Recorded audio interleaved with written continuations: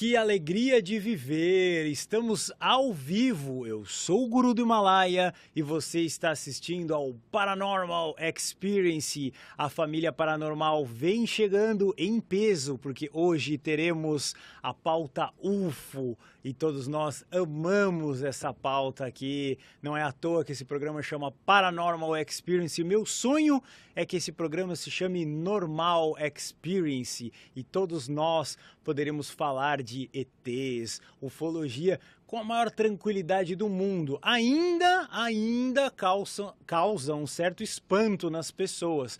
Porém, cada dia mais o paranormal vai colocando isso nas pautas e eu tô vendo que tá todo mundo já começando a conversar nos bares, tá começando e vai se normalizar. Imagine você entrando num hortifruti e falando de arcturianos, de sirianos. É um sonho não muito distante que o paranormal está promovendo para vocês. Bem-vindo, Rafael Hungria, tudo bom? Tudo bom, Guru? É um prazer estar aqui novamente programa especial hoje, né? Para a gente esclarecer muitas questões acerca da ufologia. É verdade. Hoje nós vamos realmente é, falar. Deixa eu só puxar um tiquinho mais aqui o seu para perto sobre tudo, porque esse tema ele é ardiloso, né? O pessoal vai Verdade. ter muitas dúvidas, muitas coisas bacanas, não sei o quê. Vamos falar de um contexto inicial que você.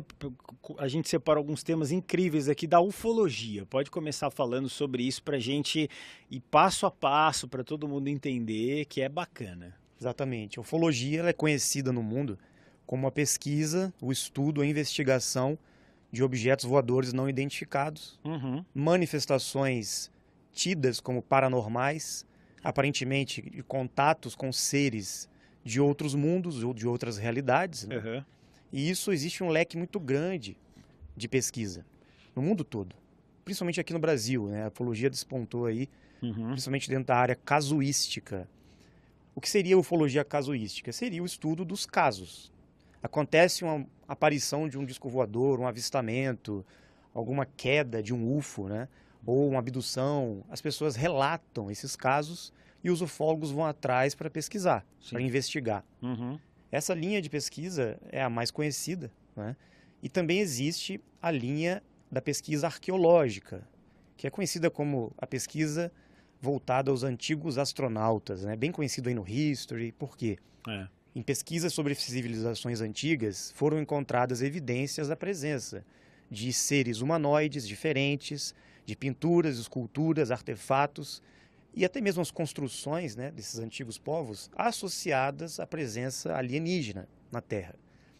E existe a vertente também da espiritualidade, a linha mística esotérica, que seria mais voltada para aqueles médiums e canalizadores que têm também contatos com essa via extrafísica, ligada à ufologia mais espiritual. Ou seja, esses seres que podem estar em outras dimensões, em outros planos, fazendo contato com a humanidade. E existe também a ufologia, que nós estamos denominando hoje, digamos que seria a ufologia moderna, que vai ser a ufologia mais científica, empírica de fato, que não se baseia apenas em casos, para ir atrás dos fenômenos que acontecem, mas apenas investigar para que você tenha também a sua experiência e consiga de fato ter o contato, ir a campo e ter essas experiências para comprovar por si mesmo que isso tudo é real que existe uma realidade ufológica ou uma existência paranormal que na verdade é mais normal do que a gente pensa, como você disse. E essa normalidade precisa ser compreendida. Porque essas outras realidades, esses outros seres, essas outras raças e tipologias humanas que existem, que são chamados de extraterrestres, é uma coisa mais comum. Todo mundo sabe que isso existe. Os governos, as grandes elites mundiais, os religiosos que supostamente estão numa liderança né, com seus fiéis, sabem que isso existe. A Bíblia está repleta de manifestações ufológicas, uhum. a história da humanidade em civilizações antigas também. E hoje em dia, principalmente nas linhas mais espiritualistas, como vocês mesmos trabalham aqui, vários podcasts fizeram com alguns médiums né, que trazem a evidência desse contato extraterrestre. Então isso precisa vir à tona. A gente tem que entender cientificamente, e não mais por uma via muito de misticismo, mas uma comprovação real de que existe algo que a humanidade tem que compreender. Quem são esses seres, né? O que, que eles estão fazendo aqui? O que são essas manifestações no céu, essas naves, essas luzes, que todo mundo vê. Uhum. E muitas pessoas têm medo, têm vergonha de falar. É. né? Então, Dáquila, o nosso grupo de pesquisa, está buscando essa última vertente, que seria essa ufologia paracientífica. Buscar a comprovação através da experiência e de modo empírico, através de pesquisas a campo, para que a gente tenha as experiências e possa comprovar isso. Então, basicamente, a ufologia hoje está dentro dessas abordagens. E tudo isso vai se unificar daqui a algum tempo, com a grande revelação, porque vai acontecer uma revelação em massa para a humanidade. Acreditamos que em poucos anos tudo será revelado. Talvez a humanidade não esteja pronta ainda Ah, né, para uma grande revelação, e eles sabem disso. Então, pouco a pouco, eles têm apare- aparecido, se manifestado no céu, em contatos com algumas pessoas, com médiums, e pessoas que tiveram contatos físicos né, e verbais, como foi o caso do Urandir, que é o presidente DAC, ele veio aqui, contou a história Ah, é? dele, né? E a gente vai aprofundar mais isso hoje. Principalmente a história do Bill, né? Do Bilu. Ah, sim, do ET Bilu. Exatamente. o ET Bilu.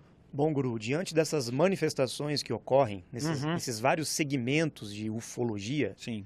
obviamente que a gente sabe que existe um governo oculto, existe uma elite mundial, um sistema Hum. de controladores do mundo por trás dos grandes governos mundiais que estão tentando abafar esses casos. Então existe o disclosure, né, que seria a abertura dos arquivos secretos da ufologia. As Forças Armadas dos Estados Unidos, Rússia, Europa sabem da presença Uhum. desses visitantes de outros mundos aqui na Terra. Por que, que eles escondem isso de nós? Por que, que existe toda essa manipulação, né? É. Então, o que, que eles fazem, segundo nossa compreensão? Eles têm, dentro da agenda de controle mundial, a ufologia também. Assim como eles usam religião e outras vertentes, política, mídia, educação, para controlar a mente das pessoas em distorções da verdade. Eles deixam algumas verdades e alteram outras para confundir as pessoas. Hollywood é o exemplo clássico disso. Você vê aqueles filmes de ET, Uhum. de extraterrestres, né? Tirando do Spielberg, do ET, que é bonitinho, né? Mas a maioria dos filmes, você vai ver lá atrás, eles foram tentando trazer uma ideia de que os aliens vão invadir a Terra, que vão abduzir as pessoas, que vão destruir o mundo, vai ter uma invasão. Essa faz parte da agenda que eles construíram para deixar a humanidade com medo dos seres Uhum. até para bloquear a glândula pineal, para que as pessoas não tenham mais a percepção dessas realidades que podem estar presentes na nossa vida. Muitas pessoas estão tendo contatos diariamente, tanto por via extrafísica como fisicamente, como eu expliquei. E essa manipulação do governo, dos sistemas no mundo, criou uma falsa ideia de alienígenas. Eles tentam criar uma cortina de fumaça por trás dos acontecimentos para que as pessoas não despertem, para que elas fiquem, na verdade, achando que é tudo uma ficção científica, que é fantasia, que isso não existe, ou para deixar as pessoas com medo, Hum. para que quando porventura a coisa aconteça de fato, as pessoas reajam negativamente. Então existe uma agenda mundial que está conduzindo as massas para essa falsa interpretação ufológica. Por um outro lado, tem muitas pessoas despertando para as verdades da ufologia, buscadores verdadeiros que estão genuinamente em busca do conhecimento e querem saber o que acontece. Quais são essas outras realidades? Quem são esses seres? Todo mundo se questiona. Os filmes que a gente assiste, os seriados que trazem esses temas, é muito fascinante. né? Você vai ver todas essas histórias de extraterrestres, as pessoas têm um fascínio, porque elas estão buscando uma resposta. Elas querem, no fundo, saber qual é a nossa origem, o que, que nós estamos Uhum. fazendo aqui, que mundo é esse, de onde viemos, existem outros planetas, outros mundos, outras civilizações, Uhum. seremos visitados por eles? Então, obviamente que os controladores da Terra, que nós sabemos que existe, isso não é conspiração. A gente sabe que existe um sistema, uma matrix que foi construída para deixar a humanidade cega diante da verdade, né? É. Então, eles não querem deixar a presença extraterrestre vir à tona. Uhum. E, de certa forma, está havendo uma manifestação cada vez maior no céu em contatos entre as pessoas, com espiritualistas, com pesquisadores, para que isso seja revelado. Então é uma suave batalha, porque a ufologia ameaça o status dos controladores, a oligarquia que controla o mundo, ela é ameaçada por essa revelação.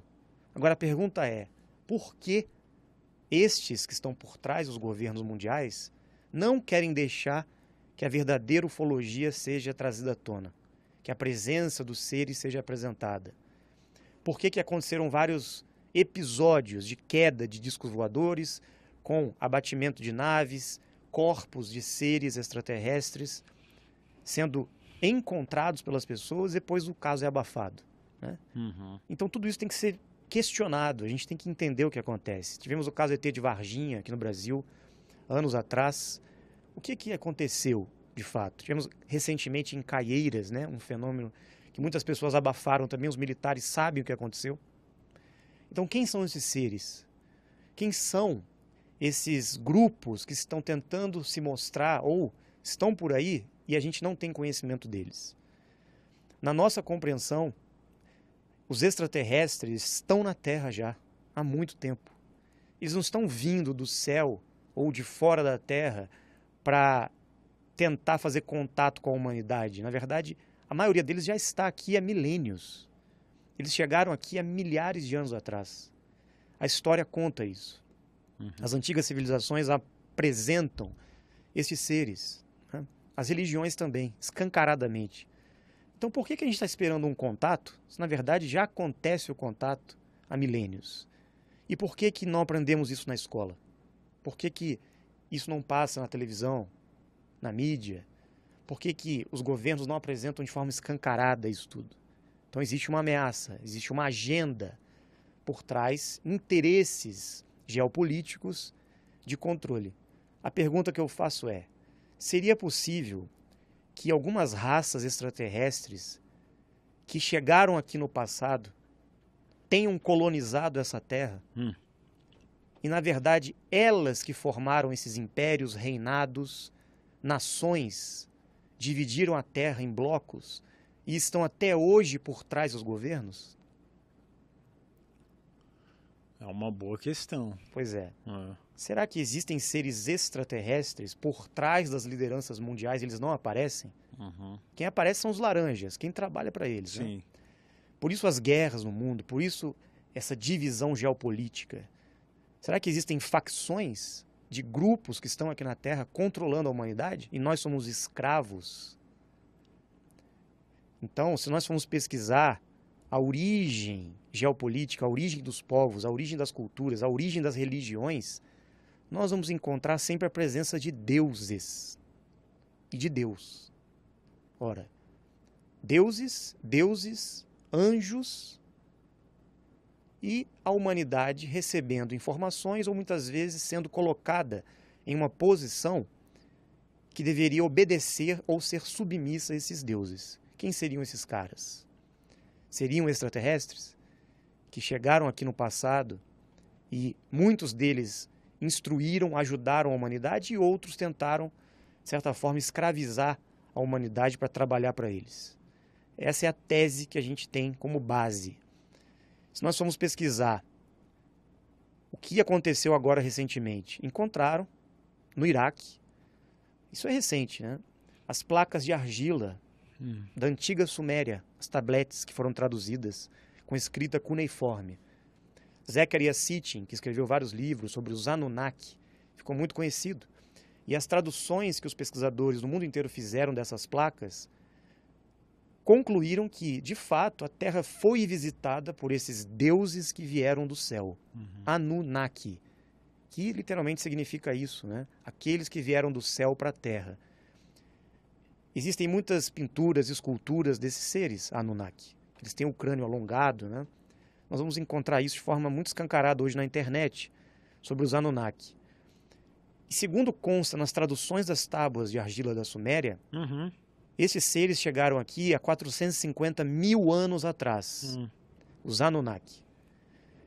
E eles encontraram na Terra um homem primitivo, não como nós somos hoje, uma espécie humana mais primitiva, E eles modificaram geneticamente essa raça humana para que este grupo trabalhasse para eles na mineração de ouro na Terra, em toda a Terra.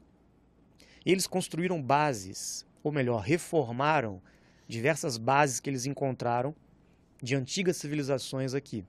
Nós vamos falar sobre isso também um pouco hoje.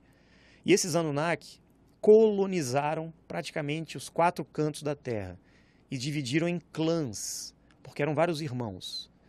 Anu, o pai deles, Enki, Enlil, Inanna, Marduk e outros que dividiram a terra em algumas partes para terem os seus clãs e seus territórios. Ocorreram muitas guerras, porque não foram só eles que vieram para cá. Outras raças de outros mundos paralelos vieram também colonizar e conquistar aqui a Terra. E existe registros sobre batalhas de grupos antigos em antigas escrituras na Índia. Nós vamos encontrar evidências da guerra dos mundos, no qual essas raças batalharam para ver quem ia conquistar esse território. Isso é escancarado, né? Na história das religiões, por exemplo, nós vamos encontrar, principalmente lá no Oriente, essas evidências. E os Anunnaki, segundo consta nas traduções das histórias que foram reveladas, né? Eles deixaram aqui uma raça humana que foi manipulada, principalmente pelo Enki e sua irmã Ninhursag, para serem trabalhadores dos Anunnaki. E até hoje a raça humana, que foi criada por eles, geneticamente dizendo, que foi a raça adâmica, desde Adão e Eva para cá, essa raça vem sendo utilizada como mão de obra para esses grupos. Daí eles construíram esse sistema de controle, nações, reinados, impérios, justamente para deixar a humanidade dentro desse perímetro demarcado, que seria os cinco continentes da Terra, para que nesse cativeiro nós continuássemos trabalhando como um gado escravo do sistema deles.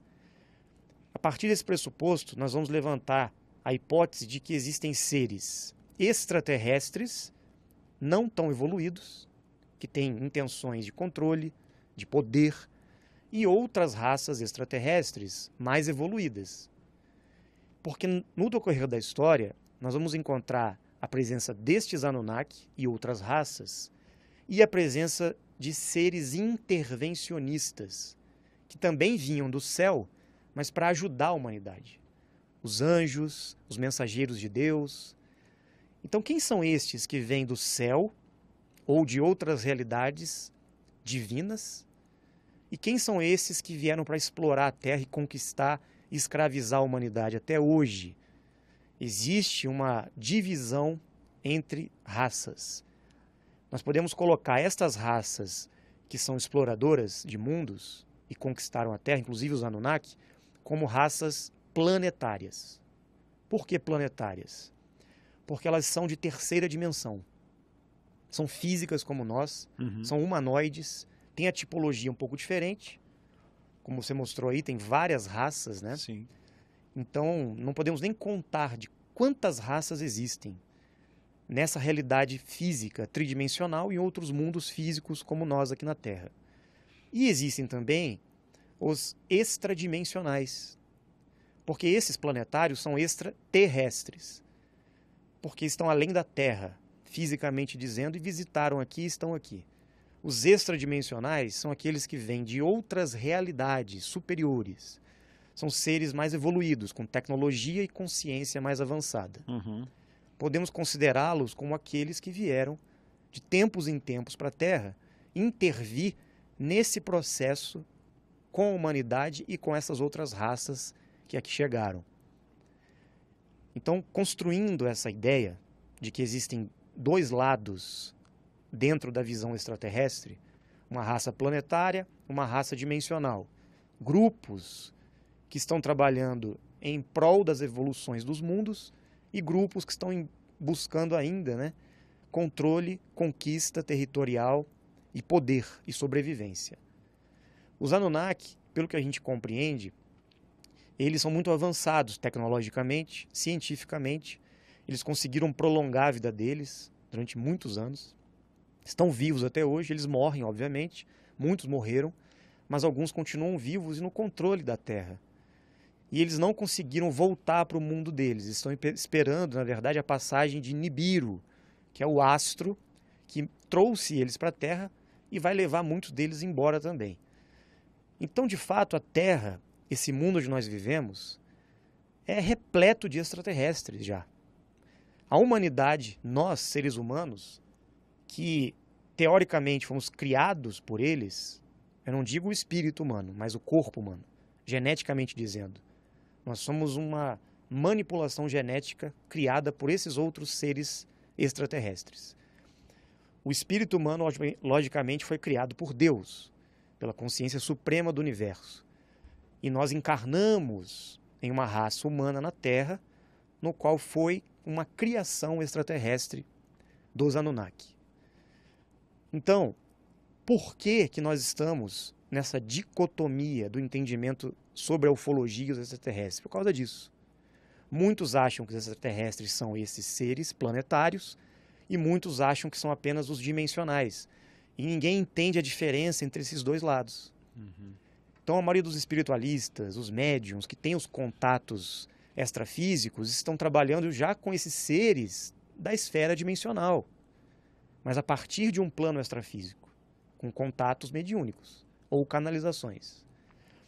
Estes seres que trabalham para os governos, estão por trás das lideranças mundiais, das religiões do mundo, eles não são seres espirituais, são seres físicos, encarnados, de carne e osso.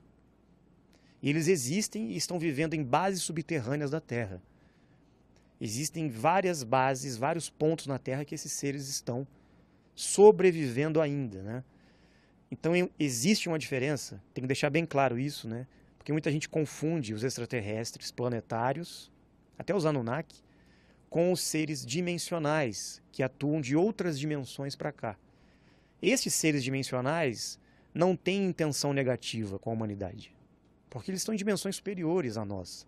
Então eles já estão muito mais próximos dessa frequência de Deus do que nós e do que essas outras raças, que também são físicas e de terceira dimensão.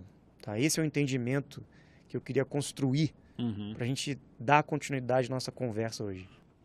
Tá claro que uhum. a Terra foi visitada por várias raças extraterrestres, a gente sabe disso. Sim. E ficou clara essa divisão entre seres planetários, planetários e seres extradimensionais. Sim. Porque não existe só apenas essa dimensão. Existem outras dimensões da realidade. Uhum. O pessoal confunde muito o plano espiritual da uhum. Terra com essa realidade dimensional. Uhum. Essas realidades dimensionais não seria o plano dos desencarnados. Tá? O plano dos desencarnados é o mundo espiritual da Terra, tá. onde existem as entidades, os espíritos, que também fazem esses contatos. E os seres dimensionais estão em frequências mais aceleradas, em níveis mais altos, podemos dizer assim, hum. da realidade. Eles também podem interagir nessa frequência espiritual, com canalizadores e médiums, como acontece muitas vezes. Uhum. Como você mesmo disse, né? Em algumas experiências de contato mediúnico, eles se apresentam até como pretos velhos. Ah, sim. E podem trazer algumas mensagens uhum. para as pessoas. É. Só que no fundo, no fundo, esses seres, eles não são espíritos desencarnados. Eles são vivos. Eles são de alta tecnologia e alta consciência. Então eles podem muito bem interagir num plano espiritual ou num plano dimensional e até no plano físico. Se quiserem se identificar. Exatamente. Exatamente. Uhum. Nós em Dáquila sempre buscamos essa interação física. A gente sempre teve pesquisa também na área extrafísica, sabemos que existem os contatos espirituais, só que em Dáquila, desde lá do projeto Portal, lá atrás, o Urandir sempre buscou essa interação concreta, direta, física e verbal. Por isso que a gente foi por uma linha de pesquisa diferente, respeitando, obviamente, todas as outras linhas. Né? Uhum. Então, os planetários várias raças visitaram aqui. Os Greys, por exemplo, quando as pessoas veem aí os Greys que caem das naves, os tripulantes dos discos voadores, Sim. e os casuísticos sempre vão atrás, eles estão lidando a maioria das vezes com raças planetárias. E muitos já estão aqui na Terra, saem das suas bases intra de 3D física, né, bases subterrâneas, e dão seus rasantes por aí, muitas vezes até podem até cair, né, como algumas naves caíram. Só que a maioria dessas naves e esses tripulantes, muitas vezes, eram experimentos dos próprios governos, tecnologias dos próprios Anunnaki, que estão aqui já há milênios. Eles que passaram essas tecnologias para os militares. Então, muitos ufólogos estão buscando os extraterrestres, que na verdade são da Terra já há muito tempo. Hum. Agora, muitos estão tendo contatos com seres extradimensionais que se manifestam no céu com naves bioplasmáticas, uhum. que são tecnologias luminosas. Então surge uma nave bioplasmática, você vai ver uma luz no céu, e não uma nave de metal, um disco voador, como a gente vê nos filmes aí, né? Você vai ver luzes que aparecem e desaparecem, soltam flashes, caminham no céu e de repente entram em portais dimensionais, interagindo com as pessoas em vários locais da Terra, como tem acontecido já. Essas aparições no mundo. Estes são aqueles que estão num patamar superior e estão interagindo com a humanidade para deixar alguma mensagem, algum recado. Estamos chegando. Até para dizer para os governantes mundiais que eles não vão conseguir esconder por muito tempo a revelação. Porque a humanidade, sendo escrava desse sistema que esses grupos construíram, sendo os cabeças dessas facções de elites que controlam a Terra, os próprios extraterrestres que colonizaram esse mundo, os Anunnaki, eles não têm interesse de revelar a presença deles, porque eles são extraterrestres. Então eles não permitem que essas coisas venham à tona. Por isso vem a agenda alien. Hum. Por isso existe essa manipulação. Daí a intervenção dos seres de bem, desses extradimensionais, para mostrar a verdade. Uhum. Então, o ABC da instrução, do conhecimento e do contato desses seres, muitas vezes vinha em alguns contatados espalhados pelo mundo, geralmente pessoas humildes, pessoas simples, que eram levadas para as naves ou que tinham contatos à noite, que viam os seres no quarto conversando uhum. com elas, sempre trazendo um conteúdo de missão você tem um compromisso, você tem uma missão, vocês têm um grande trabalho a realizar pela humanidade. Nós estamos aqui para ajudar vocês. Esse é o teor dos dimensionais. Já os outros planetários pensavam que fazer experimentos, explorações, não só de minérios, mas geneticamente.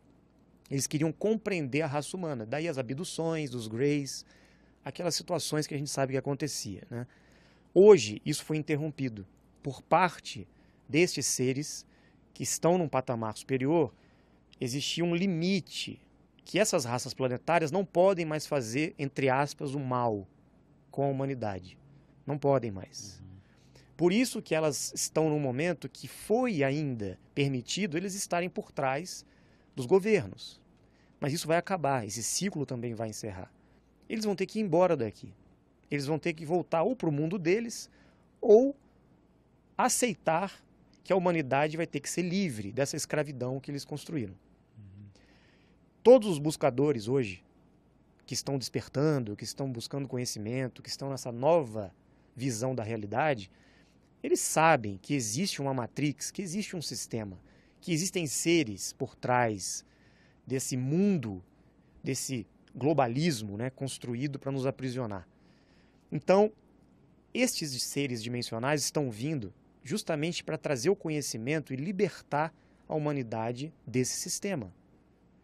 É aí que nós vamos entrar agora numa compreensão diante do contexto histórico da humanidade, como é que esses seres foram construindo esse sistema, esse reinado, e como que foi acontecendo essas intervenções extradimensionais na Terra. É muito claro. Nós vamos ver as antigas civilizações sempre com a presença desses Anunnaki, desses deuses, desses reis, desses seres que tinham sempre a humanidade submissa e escrava deles.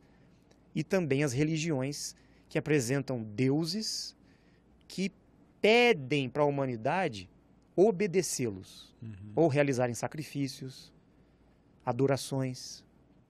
Porque os seres evoluídos e Deus não precisa de adoração, não precisa de sacrifício, não precisa de ritualismo para você oferecer algo para eles.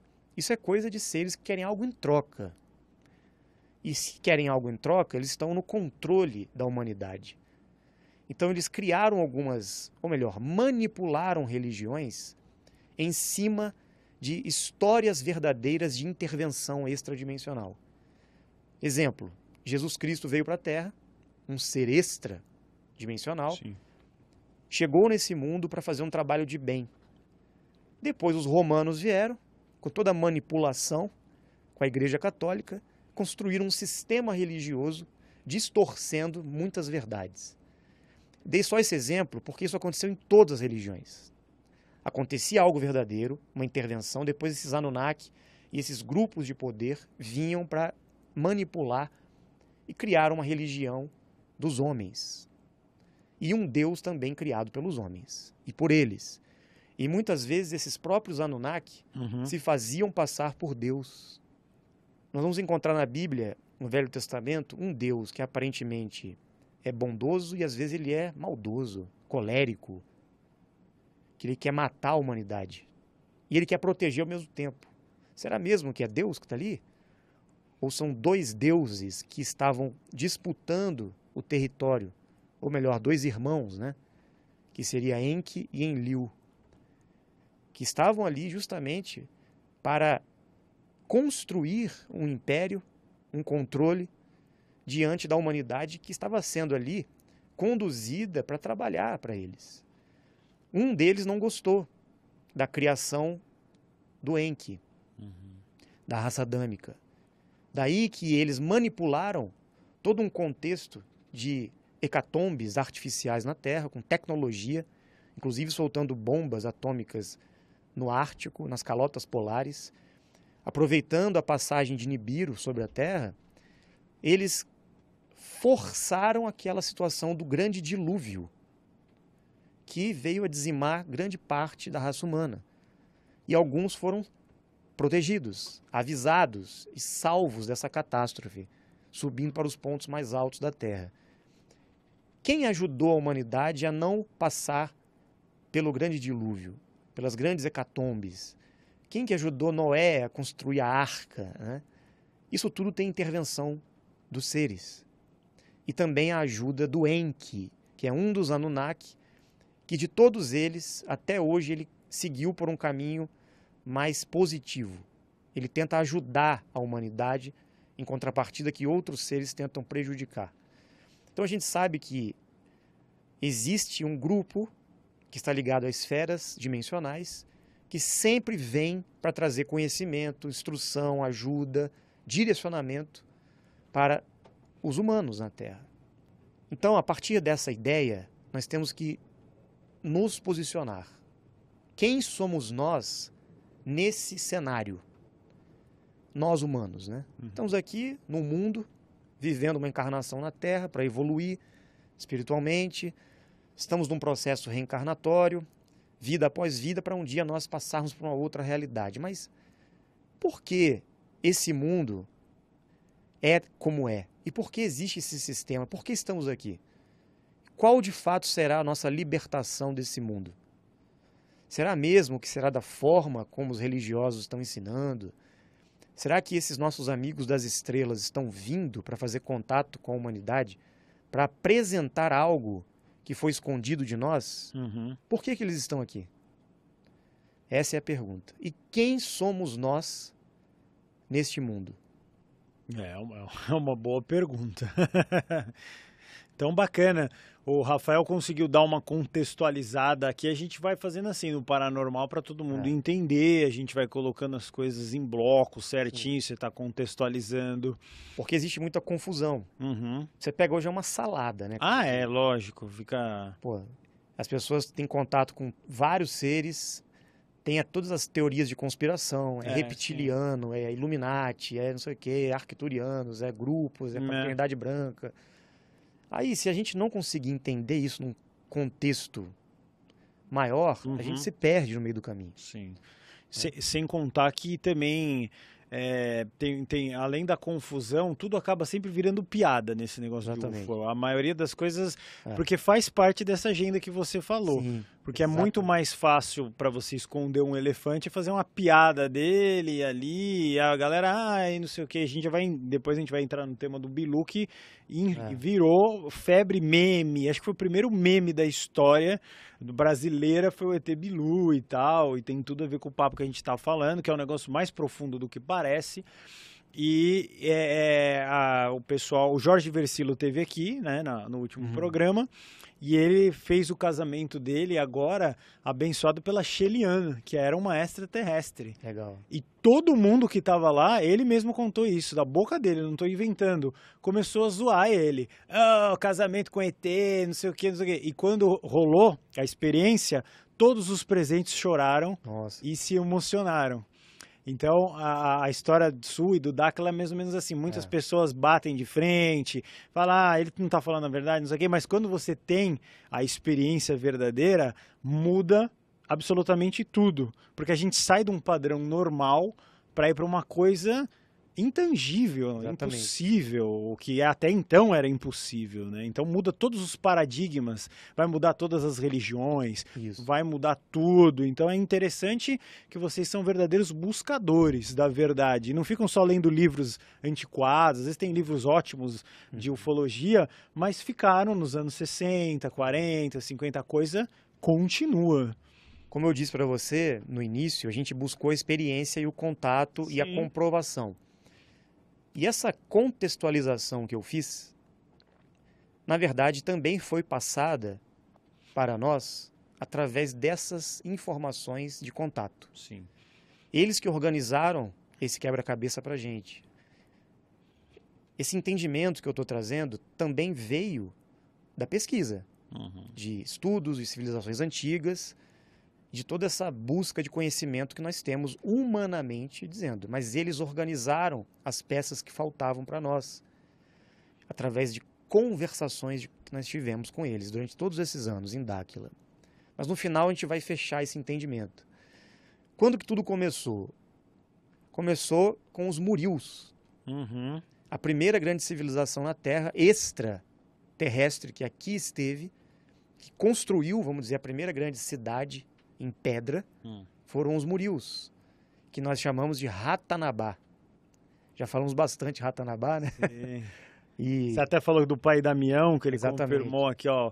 O pai Damião tá aqui no meu caderninho sempre. Houve a confirmação dele, Pois do é. espírito de Ratanabá. Então já são dois, duas vertentes falando da mesma coisa aqui. E segundo as pesquisas e informações que nós recebemos, os Murius foi a primeira raça Uhum. presente na Terra que construiu essas grandes cidades em pedra, que é o complexo de Ratanabá, no mundo inteiro, não é só na Amazônia. A Amazônia era a capital dessa grande civilização.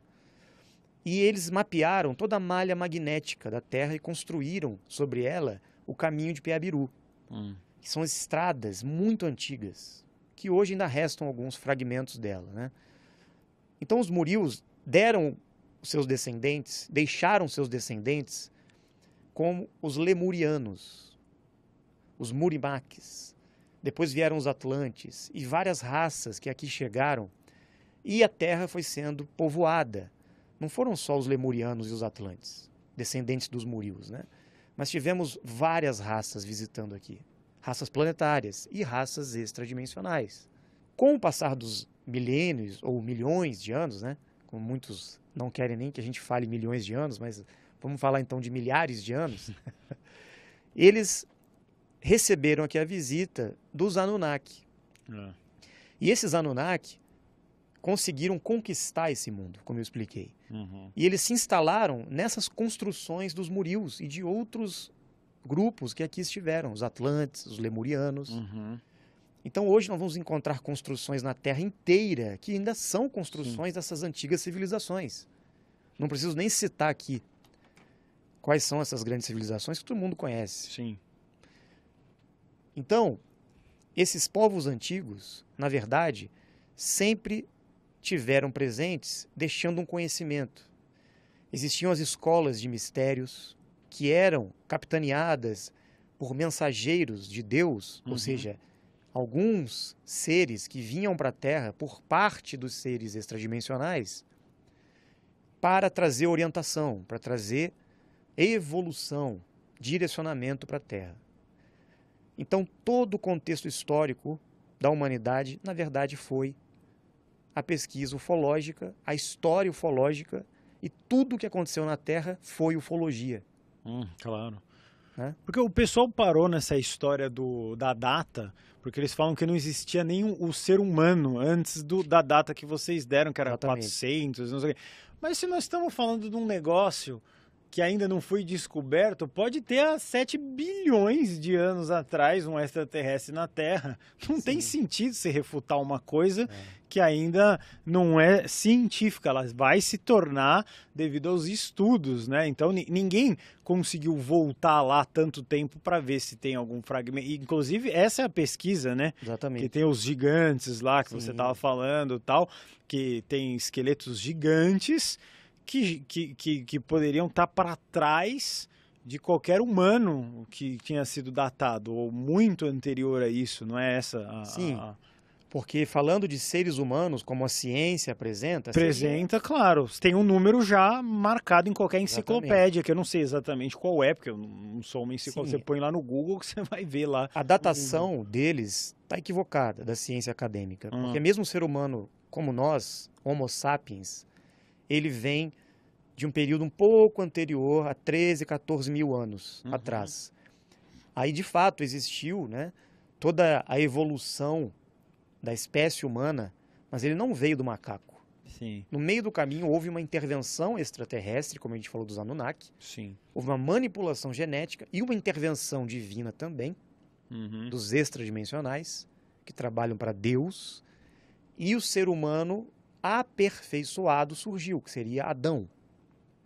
Então, na Bíblia, Deus criou o homem à imagem e semelhança. Uhum. Mas ali a história contada é uma réplica da história das tábuas sumérias. Sim. Contada de uma maneira muito mais aprofundada. É. Então, nós, humanidade, somos jovens aqui. Uhum. Mas isso não significa que não existiram outras humanidades. Claro. Outras civilizações. Outros seres humanoides. Claro. Diferentes de nós que foram extintos. É. O que existe hoje são miscigenações dessas antigas raças com a raça adâmica. É. Então tem a raça negra, amarela, caucasiana, pele vermelha, indígena. São várias tipologias de raça no padrão da raça adâmica, que somos nós, é. porém descendentes e miscigenados com raças muito mais antigas. Sim. A gente veio a descobrir que os murios quem são os descendentes dos murios mais próximos hoje? São as raças originárias, os indígenas. Hum.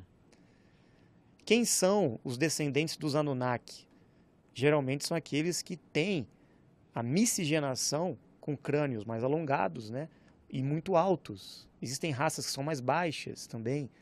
Existem raças que têm os olhos mais puxados. Então, daí veio a miscigenação para surgir a raça oriental, a raça amarela, né, como muitos dizem. A raça negra também é uma mistura genética com outras raças extraterrestres que aqui estiveram. Uhum. Né? Agora, quem somos nós de fato? Nós somos um corpo físico apenas? Uma raça manipulada por eles? A humanidade é muito antiga e sempre existiu na Terra a encarnação de espíritos planetários e dimensionais. Uhum. Então, não existem apenas seres planetários extraterrestres e extradimensionais em outros mundos e outras realidades. Existem seres planetários e dimensionais encarnados na condição humana. Entendi. Aí é que vai começar a festa. né, o entendimento. Quem somos nós? A raça humana. Nós somos planetários da Terra somos um experimento genético e nosso espírito é da Terra, muitos são. Muitos seres humanos são da Terra, são terráqueos. Terráqueos. E estão encarnados na raça adâmica e evoluindo aqui, uhum. espiritualmente. Mas muitos são extraterrestres dimensionais de outros mundos, e outras realidades que vieram passar por uma experiência humana na Terra. E qual é a diferença desses seres dimensionais encarnados para os uhum. seres planetários? Os planetários parece que não têm esse chamado, uhum. não têm essa busca, eles não se sentem diferentes. Uhum. Eles não têm essa sensação de que são de outro lugar. Eles não têm essa busca que nos leva a essa sensação de que nós temos que ir embora daqui, nossa casa é em outro lugar. A maioria dos dimensionais estão despertando hoje na busca da verdade. Sim. Aqueles que se sentem fora do sistema. Aqueles que estão buscando sair da Matrix a todo custo, que estão em busca de conhecimentos, de caminhos, de evolução.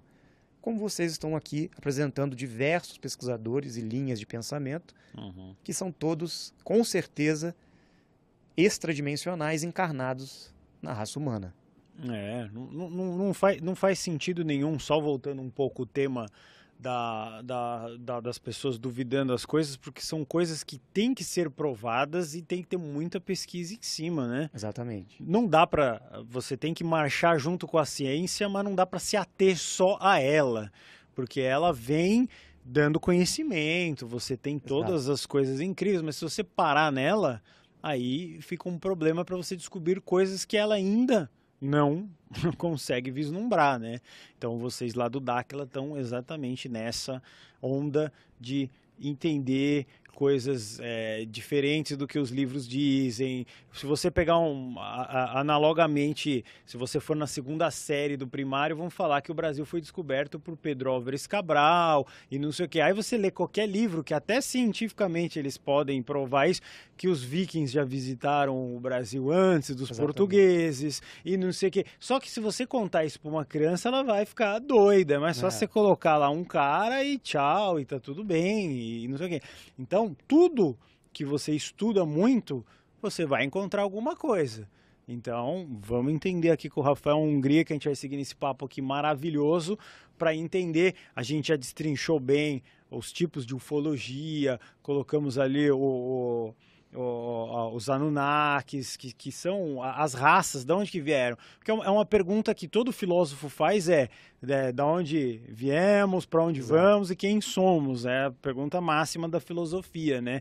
Já existe um começo de explicação nessa teoria. Sim. Na verdade, a Terra, no nosso entendimento, ela sempre foi visitada.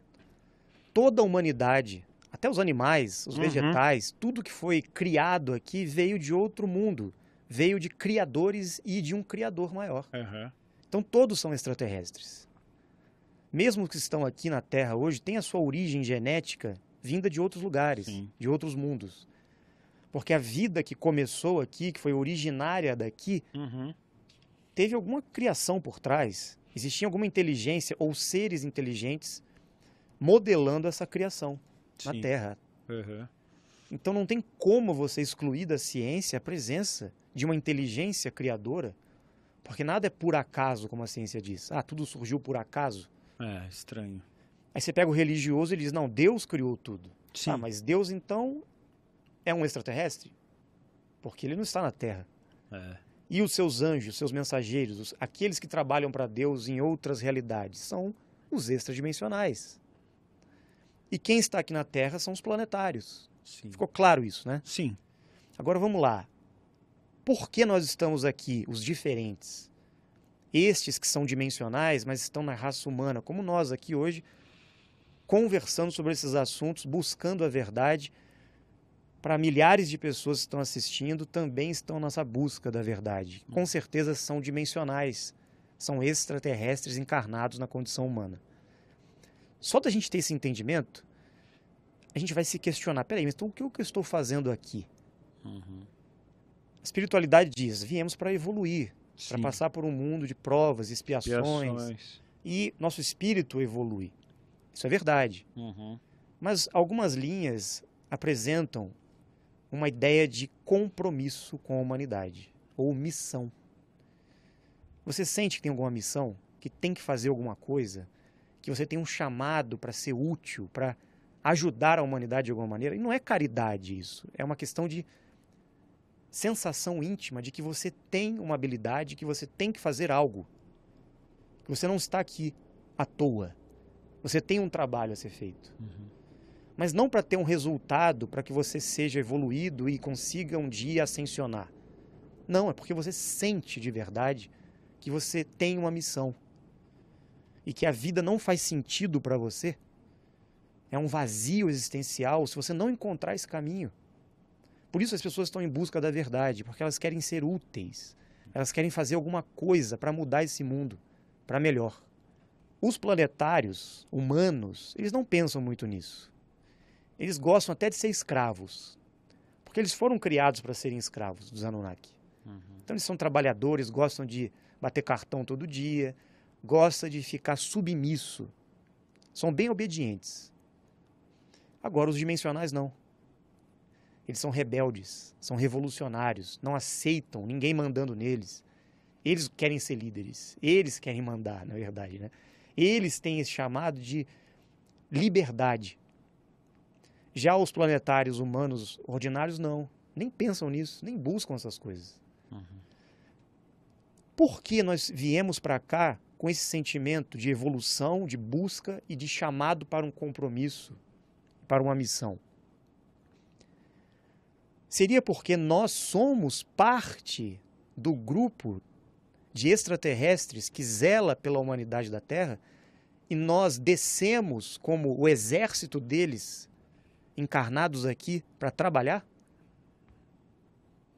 Quando Jesus veio para resgatar as ovelhas perdidas, para que elas retornassem ao reino de Deus, ele disse: Eu vim para os escolhidos, eu vim para um grupo seleto de pessoas.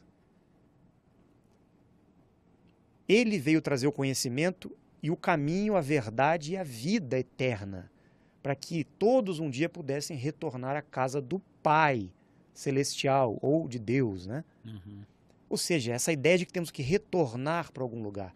Mas antes de retornarmos, temos que fazer algo aqui. Hum. Nós estamos fazendo algo, nós encontramos o nosso caminho, nós temos o conhecimento de como realizar esse processo. Ou melhor, estamos vivendo num mundo que o sistema favorece a isso? Não. Não. E o que é o Dáquila?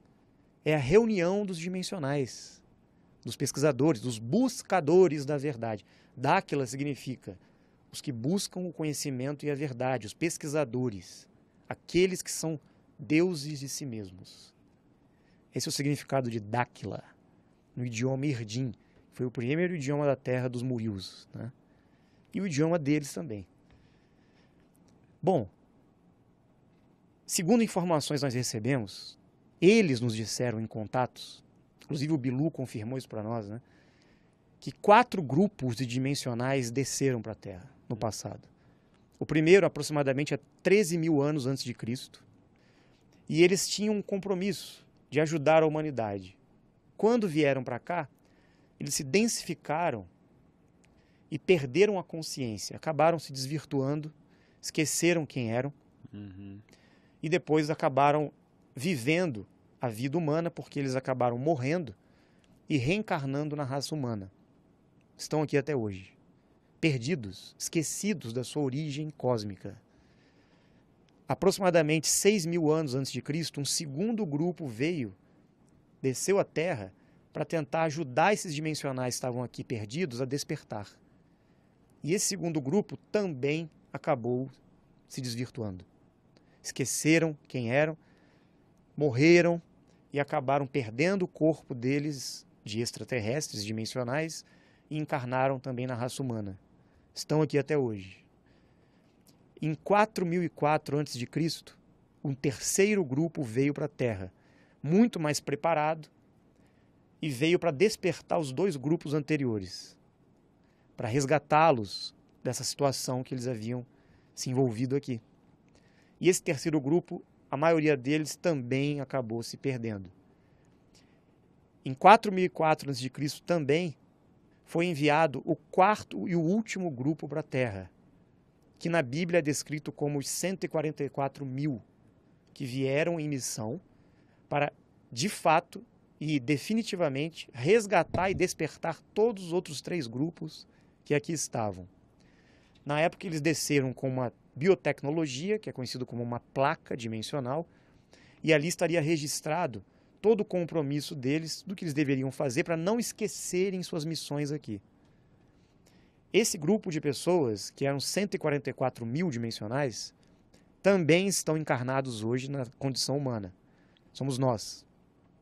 E são estes que pensam fora da caixinha. Uhum. São esses que não estão corrompidos pelo sistema. São esses que estão buscando a liberdade e a verdade a todo custo. Todos esses dimensionais, os quatro grupos, ainda estão aqui. E eles estão, entre aspas, presos aqui. Mas não porque eles têm karma ou débito com a humanidade. Isso existe, mas porque eles têm um compromisso, eles têm uma missão. Enquanto eles não realizarem esse compromisso, o trabalho que eles vieram fazer e esqueceram o que tinham que fazer, porque caíram aqui, eles não conseguem voltar para casa. Como fosse aquele desenho da caverna do dragão, que eles estão presos lá e não conseguem voltar para casa. casa. É a nossa condição aqui. Então, os Anunnaki e esses grupos de poder na Terra sabem da presença desses seres aqui, desses diferentes. E eles construíram essa matrix para nos aprisionar na ilusão da matéria. É a força, né, segundo as religiões, do diabo, o demônio agindo, né, para deixar a humanidade em pecado, em desvirtuamento, em ignorância. Na verdade, o que é o diabo? São essas forças, essas facções de poder, essas raças que não têm intenções positivas com a humanidade. E Deus, na verdade, seria todo esse lado extra-dimensional que vem para auxiliar e para colaborar com a evolução da humanidade. Porque existe um projeto de evolução para a Terra e para a humanidade. Contrapartida, esses seres, essas raças que controlaram esse mundo, não estão permitindo que a evolução aconteça. Uhum. Eles tentam atrasar o desenvolvimento humano. Eles tentam limitar a mutação genética da raça adâmica através de alimentação contaminada, toxinas, medicamentos, desequilíbrio emocional, desequilíbrio da sexualidade, confusão mental, psicológica, para deixar a humanidade perdida, morrendo e reencarnando, morrendo e reencarnando, morrendo e reencarnando. E ninguém sai daqui.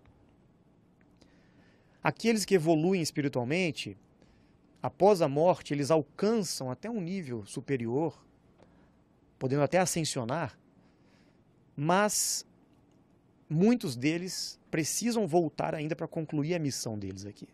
Chico Xavier, por exemplo, realizou sua missão como um ser dimensional, uhum.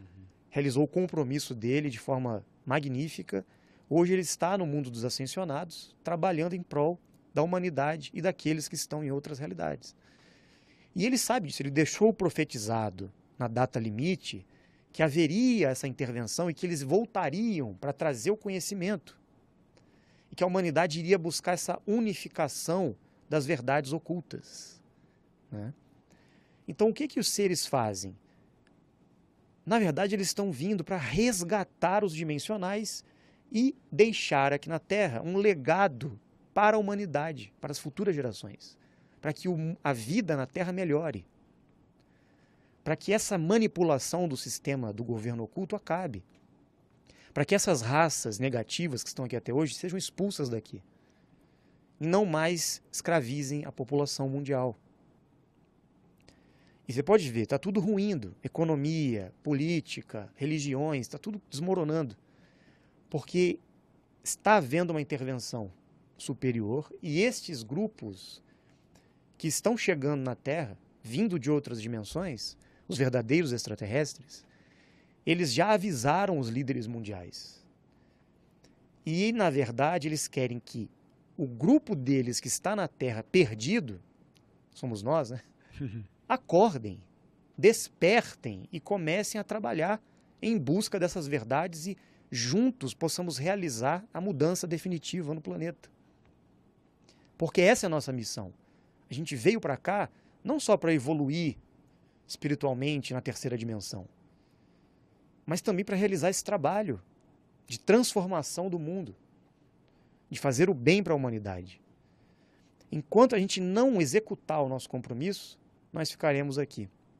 Muito bem, seguindo aqui com o Rafael, A gente anotou vários tópicos legais aqui para a gente falar, né? A gente já falou dos, dos Anunnakis, dos Greys também, a gente falou alguma coisa. Vamos falar da intervenção das 49 raças. Esse é um. É um, um até ia ser o título da live, é. depois nós acabamos mudando. Exatamente. As 49 raças seriam uhum.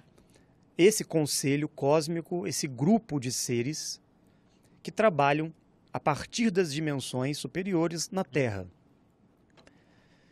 E nós também, como eu disse, somos parte dessas 49 raças. Nós estamos aqui em missão. Isso ficou claro, né? Sim. Alguns vão se identificar com isso, outros não. A maioria, eu tenho certeza, que está se identificando. Porque isso ressoa dentro de nós como uma verdade, porque todos nós estamos nessa mesma busca, né? E quem são as 49 raças? São aqueles que estão vindo nos dar o apoio, estar em parceria conosco intervindo para que ocorra, de fato, definitivamente, essa mudança no mundo. Uhum. Mas eles não podem atuar diretamente. Eles não podem pousar uma nave na Casa Branca, chegar e se mostrar para todo mundo na Terra hoje, dizer chegamos e vamos fazer uma mudança aqui, tal. Por quê? Uhum. Porque eles já são seres de outras dimensões. Muitos já passaram pela Terra, já evoluíram aqui. Sim.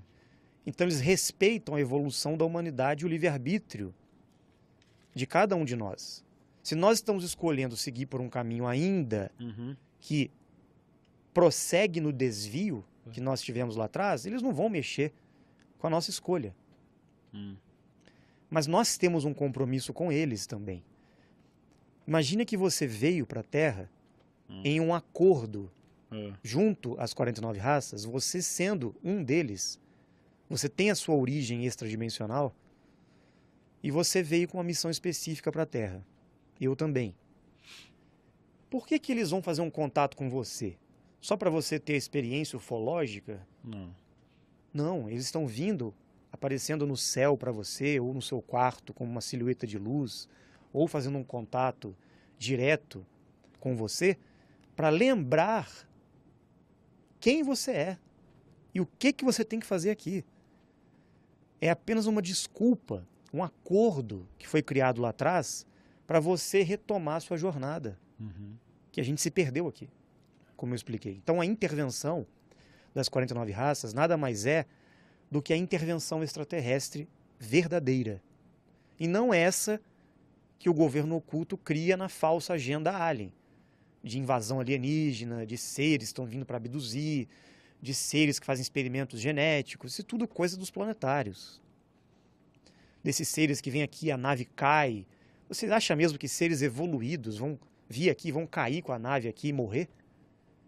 Isso não existe.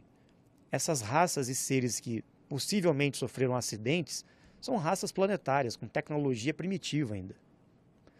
As 49 raças trabalham com tecnologia de plasma, de luz. Então eles vêm de outras dimensões para cá. Podem se materializar ou não. E esse foi o trabalho iniciado e transmitido pelo Urandir lá atrás no projeto Portal. Ele trouxe essa visão da ufologia, do contato com os extradimensionais. E isso levou um choque diante dos ufólogos casuísticos, né? porque eles estavam acostumados com uma visão mais convencional da ufologia, não essa de um contato direto com essas inteligências. Então, Urandir foi muito perseguido na época, justamente porque ele trouxe essa visão, essa quebra de paradigmas da ufologia. Ele contou aqui, né? Como é que foi difícil para ele no começo formar o grupo. Por quê? Ele, desde criança, foi contatado por eles, principalmente pelo Bill, o amigo das estrelas que esteve com ele desde a infância, treinando ele, passando conhecimentos para ele e revelando para ele que ele era um extradimensional presente ali com o intuito de prepará-lo para um compromisso na Terra. Assim como eles fizeram com vários outros no passado. Isso não é novidade. Isso aconteceu com vários sábios, iniciados, antigos que tiveram esses contatos com os mesmos seres inclusive com o Bilu, porque ele esteve presente várias vezes na história com outros nomes, participando também de todo esse projeto de evolução. principalmente quando nós chegamos aqui, depois que nós viemos, os dimensionais, né? Então, na verdade, é uma grande família. Nós e eles somos parte do mesmo grupo. E nós estamos aqui também como intervencionistas. A nossa vida não pode ser medíocre ao ponto nós acharmos que nós nascemos para estudar, trabalhar, casar, ter filhos, deixar herança e morrer. Nós viemos aqui para sobreviver? Sim. Para trabalhar? Sim.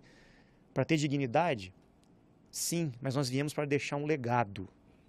E que legado é esse?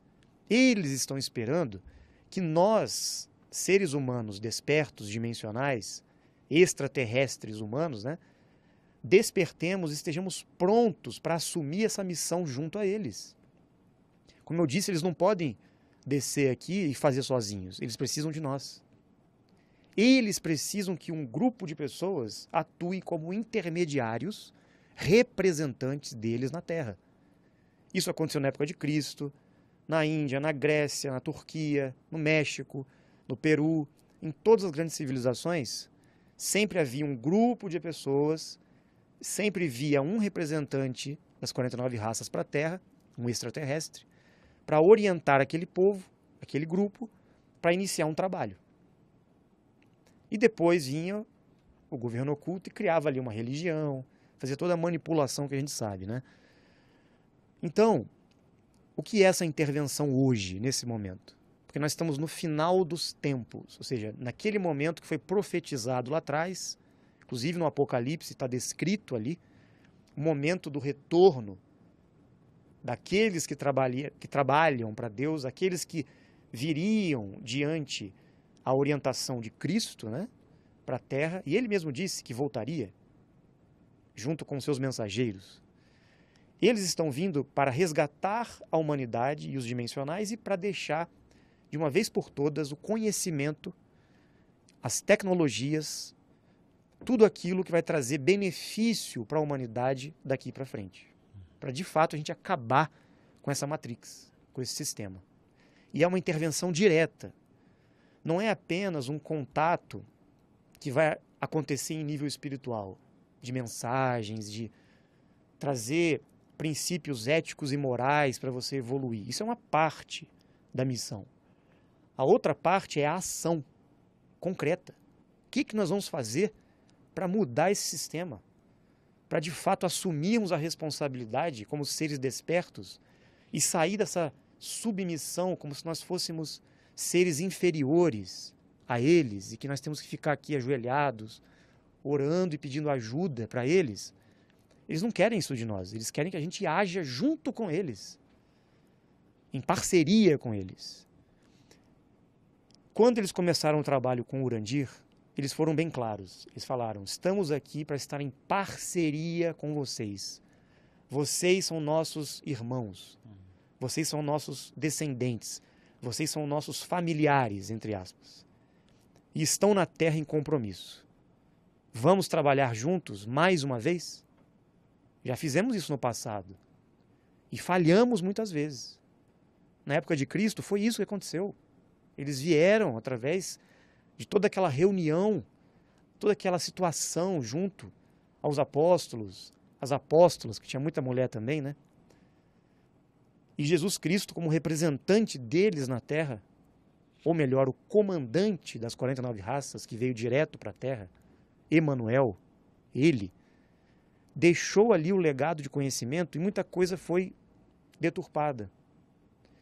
Ele ensinou o caminho de como voltaríamos para as outras dimensões através da vida eterna, da transmutação, vencendo a morte. E esse conhecimento foi completamente manipulado, escondido da humanidade. Ele passou pela experiência da ressurreição, ele se fez presente, mostrando que ele transcendeu a morte física, dando um choque na humanidade e voltou para o céu ou para os mundos superiores com o seu corpo físico. Foi embora, vivo.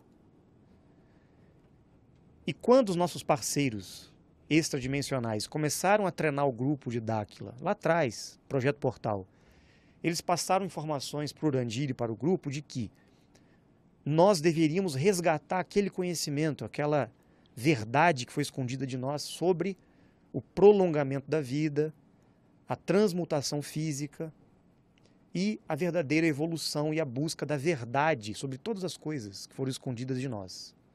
Por isso que eles estão aqui. Então a coisa é muito mais séria do que a gente imagina. Não é simplesmente ah, um contato extraterrestre. Não. É um trabalho, é uma intervenção, é uma mudança de paradigmas, é uma revolução na consciência da humanidade.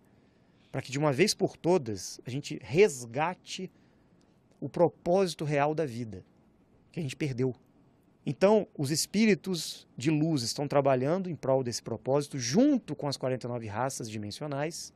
São grupos que trabalham em conjunto, os ascensionados e eles. Muitos que estão desencarnados também estão trabalhando em prol desse projeto. Por isso tem várias vertentes, várias linhas. Porque cada grupo, cada ser humano está num estágio de evolução. Cada um tem que receber aquilo que está dentro do seu entendimento, para trabalhar no mesmo propósito. Nós estamos já há mais de 25 anos, praticamente, recebendo orientações, conseguimos realizar um treinamento, um desenvolvimento gradual que de fato conquistamos essa parceria direta com eles. Cara. Através do trabalho que o Urandir iniciou, o grupo de Dáquila vem desenvolvendo há mais de 25 anos, nós conseguimos essa comunicação verbal, física direta com eles. Existe toda, todo um conhecimento, toda uma técnica para que isso aconteça. Uhum. E a gente vem trabalhando em cima disso já, justamente para trazer esse entendimento para as pessoas e deixar esse legado para a Terra. Tudo que eu falei aqui até agora uhum. foi nos passado por eles. Eles que organizaram esse cenário para nós. Você só está sendo um veículo só. Sim, eu estou resumindo, uhum. de certa forma, 25 anos de informação que eles passaram para nós. Para que a gente entenda de fato o que está acontecendo hoje e o que aconteceu no passado. Né? Hum. Nós perguntamos: por que vocês estão aqui? Sim. Eles disseram exatamente isso. Para trabalhar em parceria com vocês, para que esse sistema que está aí, junto a esses líderes mundiais, não exerçam mais esse controle sobre a humanidade e que todos possam ter conhecimento, saúde, dignidade, prosperidade, vida eterna. Não mais morte, doença, pobreza, sofrimento. Eles estão aqui para que isso tudo mude. E eles dependem de nós. Não de Dáquila, mas de todos os seres humanos que estão despertando nessa compreensão desse propósito. Entende? Entendi. Falando em coisas interessantes, eu estava aqui olhando no chat, todo mundo falando para eu mostrar os artefatos, etc. Que o Rafael Hungria trouxe aqui, né? Nós vamos mostrar ainda. Você quer falar mais alguma coisa? Não é. Vamos mostrar. Por que, que a gente falou tudo isso até agora? Uhum. Para chegar no que de fato está acontecendo e aconteceu no projeto Portal e no Dáquila. Sim. Que ninguém entende. É. Por que, que esse ser chamado Bilu, uhum. por que, que o grupo diz ter essa parceria, esse contato? Por esse motivo que eu expliquei até agora. Então eu contextualizei a coisa para que de uma vez por todas o pessoal entenda que não é um meme da internet. Sim. E que realmente vai assustar as pessoas. É chocante, é polêmico? É. E o Bilu é real, as 49 raças são reais, e nós estamos em parceria com eles há mais de 30 anos. Tudo começou com o Urandir, ele contou a história dele aqui. Sim. E a gente também não está preocupado em provar nada para ninguém. Mas, como muitas pessoas questionam e brincam e querem buscar a verdade, eu acredito que esse é o propósito aqui dos buscadores, né? Uhum. A gente trouxe um material para até apresentar para todos o que de fato aconteceu na sequência histórica dos fatos. Muita gente diz que o famoso ET Bilu né, era o próprio Urandir disfarçado, enganando as pessoas no mato. Por isso que virou meme, né? Inclusive todas as emissoras de televisão que foram lá fizeram questão de difamar, de acabar com a reputação. Eu lembro disso. Das pessoas e do próprio Urandir. Isso foi um absurdo, né? Os programas de televisão, virou tudo piada, Sim. eu lembro bem. E quem tem coragem agora de enfrentar a verdade? Essa é a pergunta. Porque a gente tem todo o material e disponibilizamos, inclusive, isso para algumas pessoas que queriam fazer uma perícia das filmagens, dos vídeos. Uhum. O Júnior Lutero, do canal Documentarista, eu queria mandar um abraço para ele aqui, o Rutan, ele me procurou. Disse assim: olha, esse negócio de Ratanabá aí eu até acredito, mas Hum. ET Bilu Não dá. não dá. Dáquila, vocês estão viajando. Eu vou ter que fazer um debate com você, Sim, que eu quero desmascarar essa ideia de ET Bilu. sim. Ratanabá pode até ser verdade. Fizemos uma entrevista e eu falei para ele: disponibilizaremos todo o material para você fazer a perícia, porque ele trabalha com edição, com filmagem, trabalhou na televisão muitos anos, então ele sabe fazer perícia investigativa de vídeos. Uhum. Ele fez uma análise profunda das imagens do ET Bilu, segundo as filmagens das próprias emissoras de televisão. E o final da história foi: ele se convenceu que era real. Ele, ele é um documentarista do YouTube, né? Sim. Qual que é o nome dele? A gente- Rutan. O Rutan. Ele Acho que tem a gente dois- até convidou ele para vir ele tem aqui. 2 milhões e 300 mil inscritos, Sim, eu, é. bem famoso no YouTube. E ele, É. assim, fez uma polêmica danada. Eu fui até o canal dele, ele foi no meu canal e a gente fez essa perícia. Ele foi o primeiro youtuber, depois de nós, óbvio, que a gente apresentou, mas Sim. ele foi o primeiro de fora que teve a coragem e até a honestidade intelectual. de acessar tudo de forma plena, sem ficar vendo Sim, é. historinha aí. E ele falou: se for mentira, eu vou mostrar. Você tá, você tá preparado? Eu falei: estamos preparados. Esse vídeo saiu, eu não vi. Saiu. Depois eu te passar os links. São Tá. dois vídeos, ele faz a perícia do ET Bilu. parte 1 e parte 2. São dois vídeos de 45 minutos. Fantástico, assim. Impressionante. A conclusão que ele chegou, nem nós de Dáquila tínhamos Tinham chegado a tamanha minuciosidade do que ele viu. Então eu gostaria de apresentar aqui, né? Eu trouxe até algum material, Claro. até para as pessoas que estão aí no chat, né, fazendo piada ainda, né? Depois dessa análise, eu gostaria de saber qual a opinião das pessoas depois que for vista essa perícia, né? Porque a gente tem que desmistificar isso daí. Claro. Porque quem foi e quem é o ET Bilu? Uhum. é o nosso parceiro dimensional que está aqui para passar conhecimento, orientar a humanidade através de Dáquila inicialmente, para que a gente realize todo esse trabalho que eu falei agora. É um ser de bem, é um ser da luz, Uhum. é um ser que conhece todo mundo na Terra.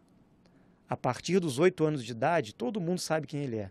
Todo mundo conheceu ele já. É, E ele vai se mostrar no futuro, ele vai voltar. é. Então, antes que ele volte, vamos preparar o terreno para esse entendimento, cara. Tem data?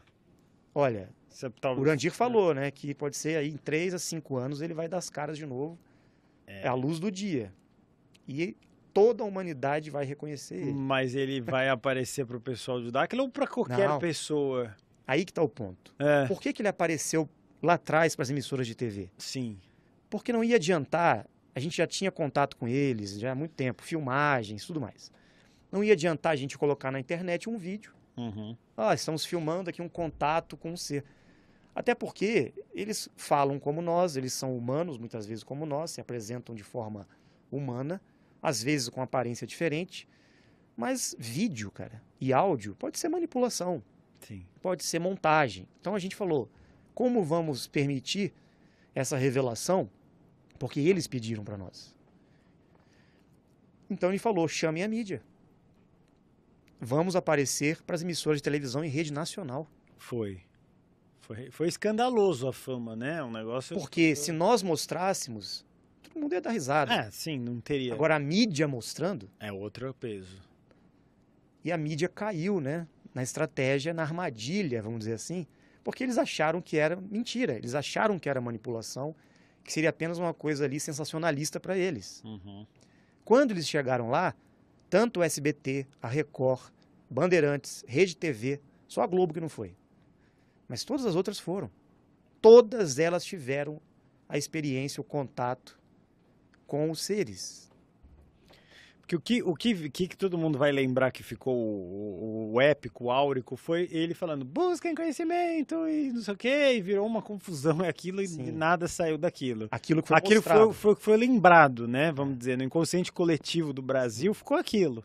Mas foi proposital. Sim, porque aí você faz uma, um, um circo daquilo, virou uma coisa meio paspalhenta. Mas é isso que ele queria. O próprio Bilu. O próprio Bilu.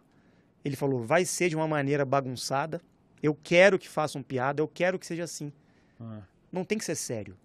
Quer dizer, foi sério. Não, foi, mas Porque foi virou piada. Se você vai ver o vídeo, você vai ver que foi sério na hora. De forma. Os bastidores da filmagem foi tudo sério.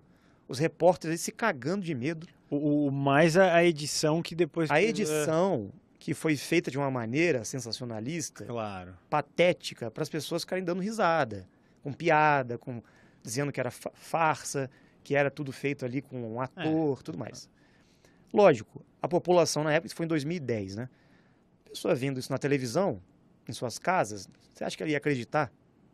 Não ia.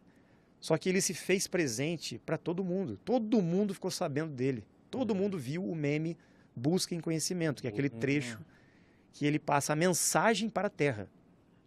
Então vamos ver lá. Toda a verdade por, por três estágios no primeiro. Ela é ridicularizada, no segundo é rejeitada com violência, no terceiro é aceita como evidência por si própria. Vamos ver ali a verdade. Você pode falar. Qual a sua mensagem para a Terra, Bilu?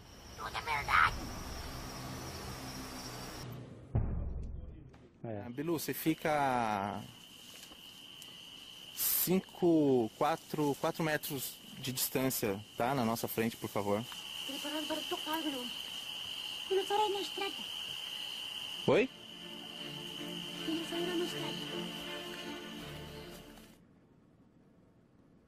Qual a sua mensagem para a Terra, Bilu? Essa foi a imagem. Minha expressão. Uma mensagem a todos. Apenas que busquem conhecimento. Essa foi a desmaterialização do Bilu na frente do Danilo Gentili. Filmado pela Band, tá? Foi quando ele surge e se desmaterializa na frente das câmeras. E a mídia escondeu toda a verdade. Essa foi apenas uma introdução que nós vamos detalhar agora o contexto histórico. A primeira emissora que foi lá quando soube das manifestações do Bilu foi o SBT. E eles conseguiram pegar uma filmagem de um contato no qual o Bilu está conversando com a equipe e ele ilumina todo o seu corpo se materializando à frente das câmeras. Então, se puder colocar o vídeo do SBT, só para mostrar, não é a imagem do SBT, é a imagem das filmagens que fornecemos para o SBT. Vamos lá. Não está pegando meu já. Não, não tô te vendo aqui não. Na... Ah, tá. O objetivo não foca sem a luz física de vocês. Então, Bruno vai transformar a luz nossa vibracional em uma luz física. Ah, Ah, vi. Tô te vendo. ah, não sabia disso. Caraca, que legal. Mas só a câmera tá vendo, a gente não tá vendo. Ah, a gente queria te ver. Essa tá foi agachado, a imagem Bilu? que chamou a atenção de todas É. as emissoras. Foi a partir desse vídeo que as emissoras pediram para fazer a reportagem e ir lá. Ah, Bilu, porque ele tá numa frequência provavelmente ultravioleta, alguma coisa assim que a câmera pega. A gente não Claro, Bilu, essas ativações que tu, que tu fez ali agora, a gente recebe também? claro. Hum, que bom. Frequência luminosa somente para nada. É, a gente não enxerga não quase tem nada. Isso mesmo. Olha, Bilu, eu tô te vendo. Você tá com uma mão no chão, outra mão no joelho, não é isso? Exatamente. E Sabe tô vendo seus Bilu? olhos. Também estou vendo seus olhos. Bilu, em relação a essa frequência ultravioleta, aí, como é que a gente pode ativar a nossa visão para poder perceber essa tua frequência? Tem a visão periférica. Vibracionais. Essa tecnologia bioplasmática que ele utiliza é do próprio corpo dele. Ele emite essa luz e ele gera essa luminescência densificando seu corpo em frente à câmera.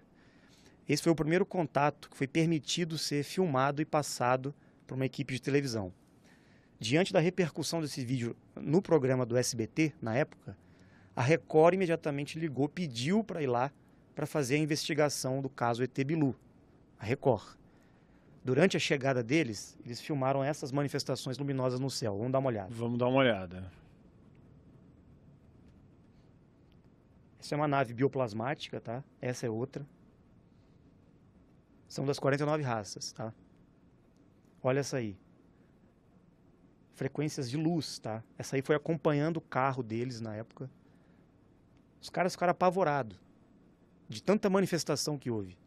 São crianças sendo ativadas ali pela energia bioplasmática dos seres também.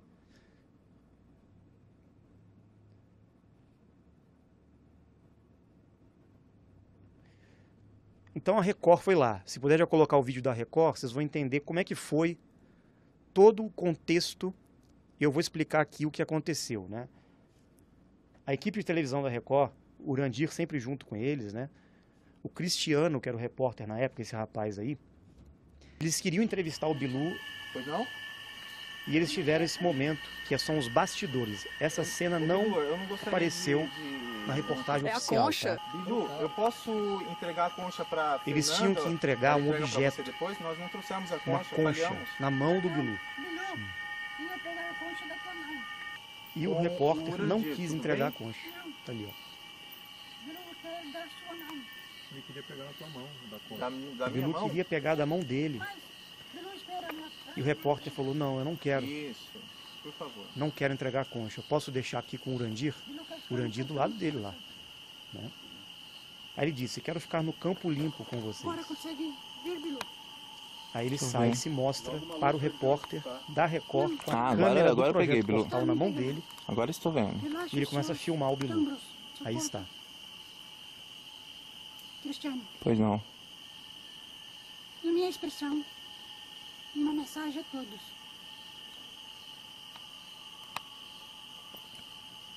Você pode falar. Qual a sua mensagem para a Terra, Bilu? Apenas que você conhecimentos. Posso chegar perto, Bilu?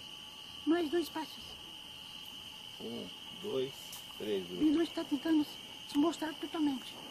É só manter a calma. Bilu, eu posso chegar um pouco mais perto? Cinco passos. Bilu ficar dois palmos. Bilu está organizando energia para se mostrar. Bilu. Cristiano, Pois não? pegou o Bilu totalmente. Só o rosto, Bilu. Não.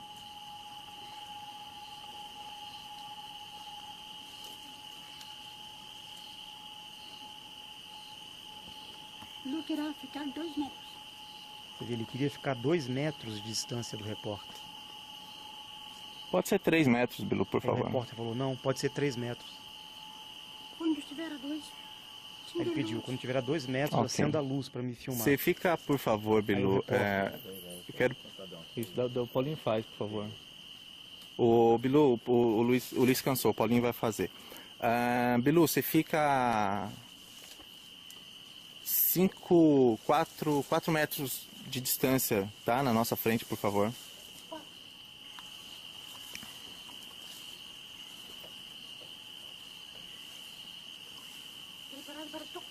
Aí o Bilu disse: Estou preparando para tocar em você.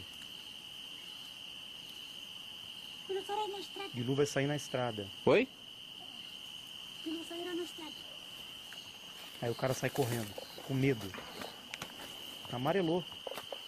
A gente fica nessa posição ou a gente Ô. vai pra estrada? Bilu, é, eu não quero que você toque em mim, nem no Paulo, nem no, no Luiz, por favor. E você, eu quero que você fique a, a, a 4 metros de distância da gente, porque nós somos novos, a gente não tem experiência ainda nesse projeto, né? Você entende?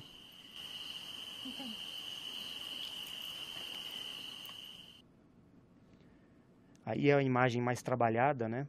Para vocês perceberem como que foi. Ele estava translúcido, ele não estava 100% físico. Ele se mistura com a vegetação. O terceiro olho dele acende aqui na testa, tá vendo?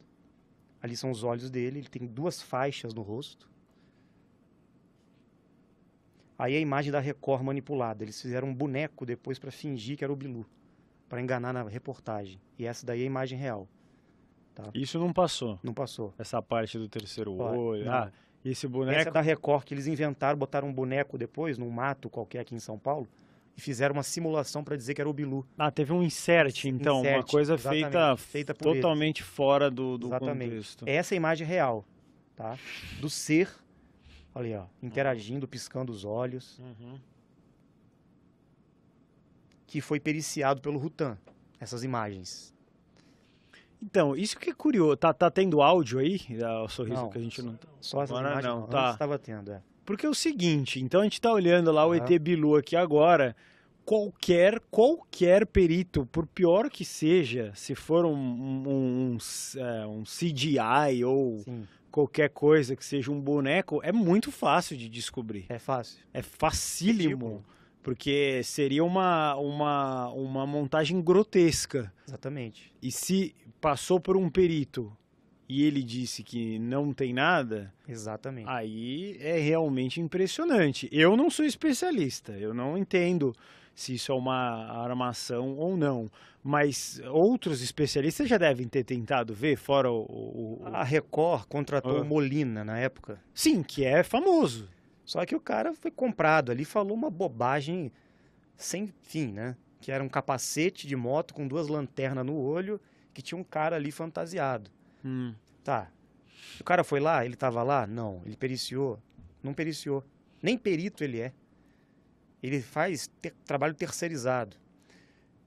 O Rutan desmascarou o Molina também no vídeo. Assiste, depois vocês vão entender a, a perícia do ET Bilu. Sim. Essa foi a primeira filmagem, tá? Com a equipe da Record. Por que eles foram lá? Porque eles queriam esse furo de reportagem. Claro, todo mundo queria saber. Agora eu te pergunto. Esse cara, Cristiano, acho que ele não tem nem ideia do que ele vivenciou. Até hoje ele está negando. A gente tentou procurar ele, ele fugiu. Até hoje ele foge, né? É, é normal. Porque não vai assumir, né? Uhum. Eles tiveram a primeira entrevista com um ser extraterrestre em rede nacional. Isso foi uma, um marco histórico, cara. Sim. Você tem noção do que, que é isso? É. Você filmar um ser na sua frente conversando com você, e o cara perguntou qual a sua mensagem para a Terra? Apenas que busquem o conhecimento. Falou sério, virou meme, né? Pô, total. Recortaram só o busquem conhecimento, virou meme. Foi bom, todo mundo hoje Conheceu. fala busquem conhecimento, né? Sim. Por que, que ele fez isso? Uhum. Aí vem a pergunta que não quer calar agora. A Record fez a matéria difamando e dizendo que era farsa, tudo isso. Agora, farsa, o repórter cagando de medo, pedindo para não tocar. Por que ele não chamou o ser? Não, vem aqui, eu quero tocar em você. Eu vou te filmar cara a cara aqui. Ele ficou com medo de um ator? Ou de um boneco? Não tem nexo isso. E eles fizeram a matéria dizendo que era uma mentira, que era farsa. Fizeram aquela matéria a lá, fantástico, né? 15 dias depois, produção Danilo Gentili, do CQC, pede pro Danilo Gentili ir lá para filmar o Bilu também. Sim. Peraí, mas não era mentira? Eles vão filmar outro ator?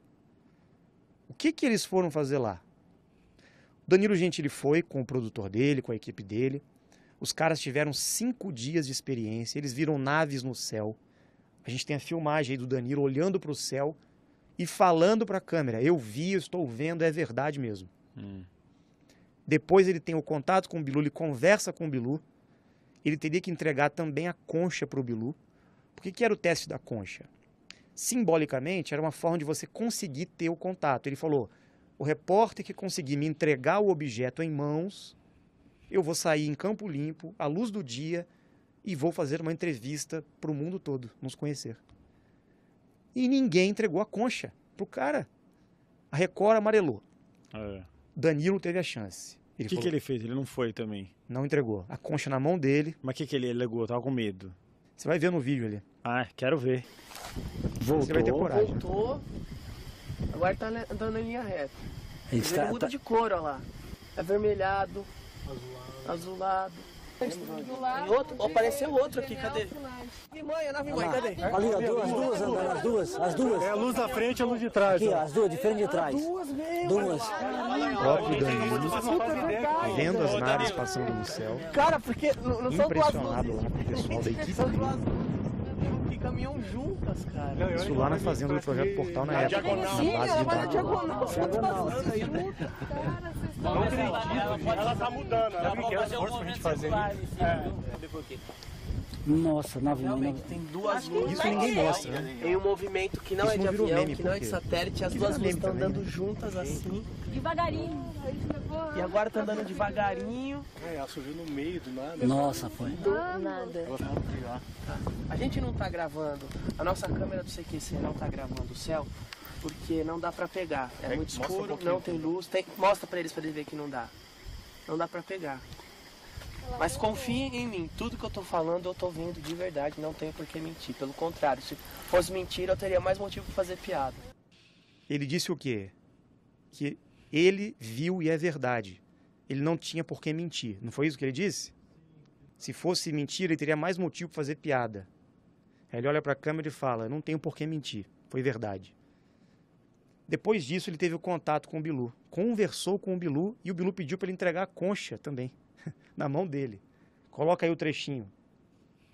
Pelo que eu tô percebendo, esse negócio da concha é uma coisa que o Bilu tá lançando, não pro CQC, porque ele já falou disso em outros programas, mas pra humanidade. Ele tá propondo um teste da concha, diz que quem passar no teste da concha vai poder conversar com o Bilu à luz do dia. Uma hora ele tava ali, outra hora tava do outro lado. Opa, tá ali agora. Perdi o flash. Esse brilho que vocês viram agora, esse flash tá ali no meio, ele pediu pra eu voltar. Eu Tinha tava, garantido. tava do outro lado da concha. Tô vendo, Bilu, que você é rápido. Ô, Bilu, de qual planeta você vem? Constelação de Pegasus. É, a humanidade não tem ideia das coisas que acontecem lá. A hora, que, eu, hora que eu fui atravessar. Tá vendo? Olha lá, tá vendo? Tá vendo, Danilo? Ele? Lá do lado, frente, do aqui, lado ó, da do, entre as, aqui, do lado da, da arvorezinha. Se mexe pra ele te notar. Ah, não. Viu? Tô vendo. Ai, gente, eu tô passada. Não dá pra pegar. Mas confiem em mim, tudo que eu tô falando eu tô vendo de verdade, não tenho por que mentir. Pelo contrário, se fosse mentira eu teria mais motivo pra fazer piada. Aí foi a desmaterialização. vi, vi. Quando ele eu vi filmou agora, velho. com a própria câmera Acabou- você pegou aí? Você- você pegou? Ele é baixinho, apareceu uma luz. se desmaterializando, a silhueta dele ali, ó. Aí ele acende o frontal e começa a se desmaterializar na frente da câmera.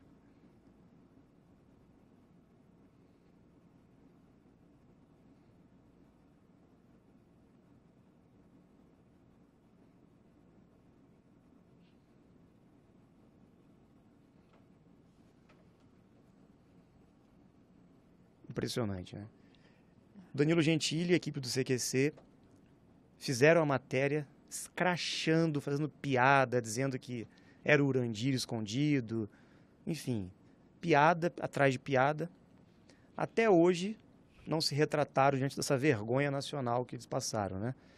E nós filmamos todos os bastidores. Tudo isso são os bastidores. Tem muito mais filmagem. Eu fiz um resumo, né? Para vocês entenderem como que eles manipularam, cara. A verdade por trás da matéria. Até hoje ele não consegue falar sobre o caso, o Danilo. Esperando ele chamar a gente para ir lá, né, no de noite para esclarecer e confrontar ele, né? Ou ele vem aqui e a gente faz um bate-papo com ele. Sim, tá convidadíssimo. Pois é. Pode vir. Tá todo mundo aberto para falar. Os peritos que participaram, o rapaz da Record, qual era o nome dele que sumiu? Cristiano. lá? o Cristiano. Se quiser dar, vir dar o seu depoimento, Paranormal tá aqui aberto. Você fala o que você viu, o que você não viu. Fica Exatamente. tranquilo aí. Nós estamos passando essas imagens na sequência dos fatos que aconteceram. Uma perícia, a gente está fazendo uma Sim. mini perícia aqui. Claro. Depois disso, Uhum. a Rede TV do programa Super Pop da Luciana Jimenez Sei. pediu para ir lá. Hum. Também queria filmar o Bilu. Mas não era mentira? Duas emissoras tinham dito que não era real. E foram atrás. Aí foram atrás do Bilu. Você tem aí da Rede TV, não? Fabrício entendeu no que consistia o teste da concha e topou a experiência. Então, Bilu pediu para que eles o seguissem e assim começou o primeiro item do teste. Os dois se embrenharam mato adentro com o intuito de cumprir o primeiro item do teste da concha. Durante a caminhada, os dois se esgotaram fisicamente e todas as vezes que paravam para descansar, Bilu aparecia para passar informações e ainda brincava com os dois dizendo que ele não precisava de lanterna, não se cansava, não fazia barulho na mata e nem ficava enroscado nos galhos. Sim. Nenhum ser humano consegue subir, subir e ficar descansadinho. Ah, eu sou prova viva disso, Bilu. Após um pequeno intervalo para descanso, a caminhada prosseguiu e em determinado momento, O Bilu a fez eles subida para o morro ficou tão íngreme que era impossível um de ser lugar o humano continuar. Eles não conseguiam Eles chegar. pediram novamente Quanto mais eles se aproximavam Bilu. dele, mais ele se distanciava, porque ele se teletransportava. Nossa, o Bilu dá um trabalho, Esse é o gente, recorde, vocês não recorde. acreditam. Bilu, a gente tá indo pelo caminho certo? Foi impressionante. Não? Você pode mostrar a luz de novo? É possível a gente te- entregar a concha hoje ainda?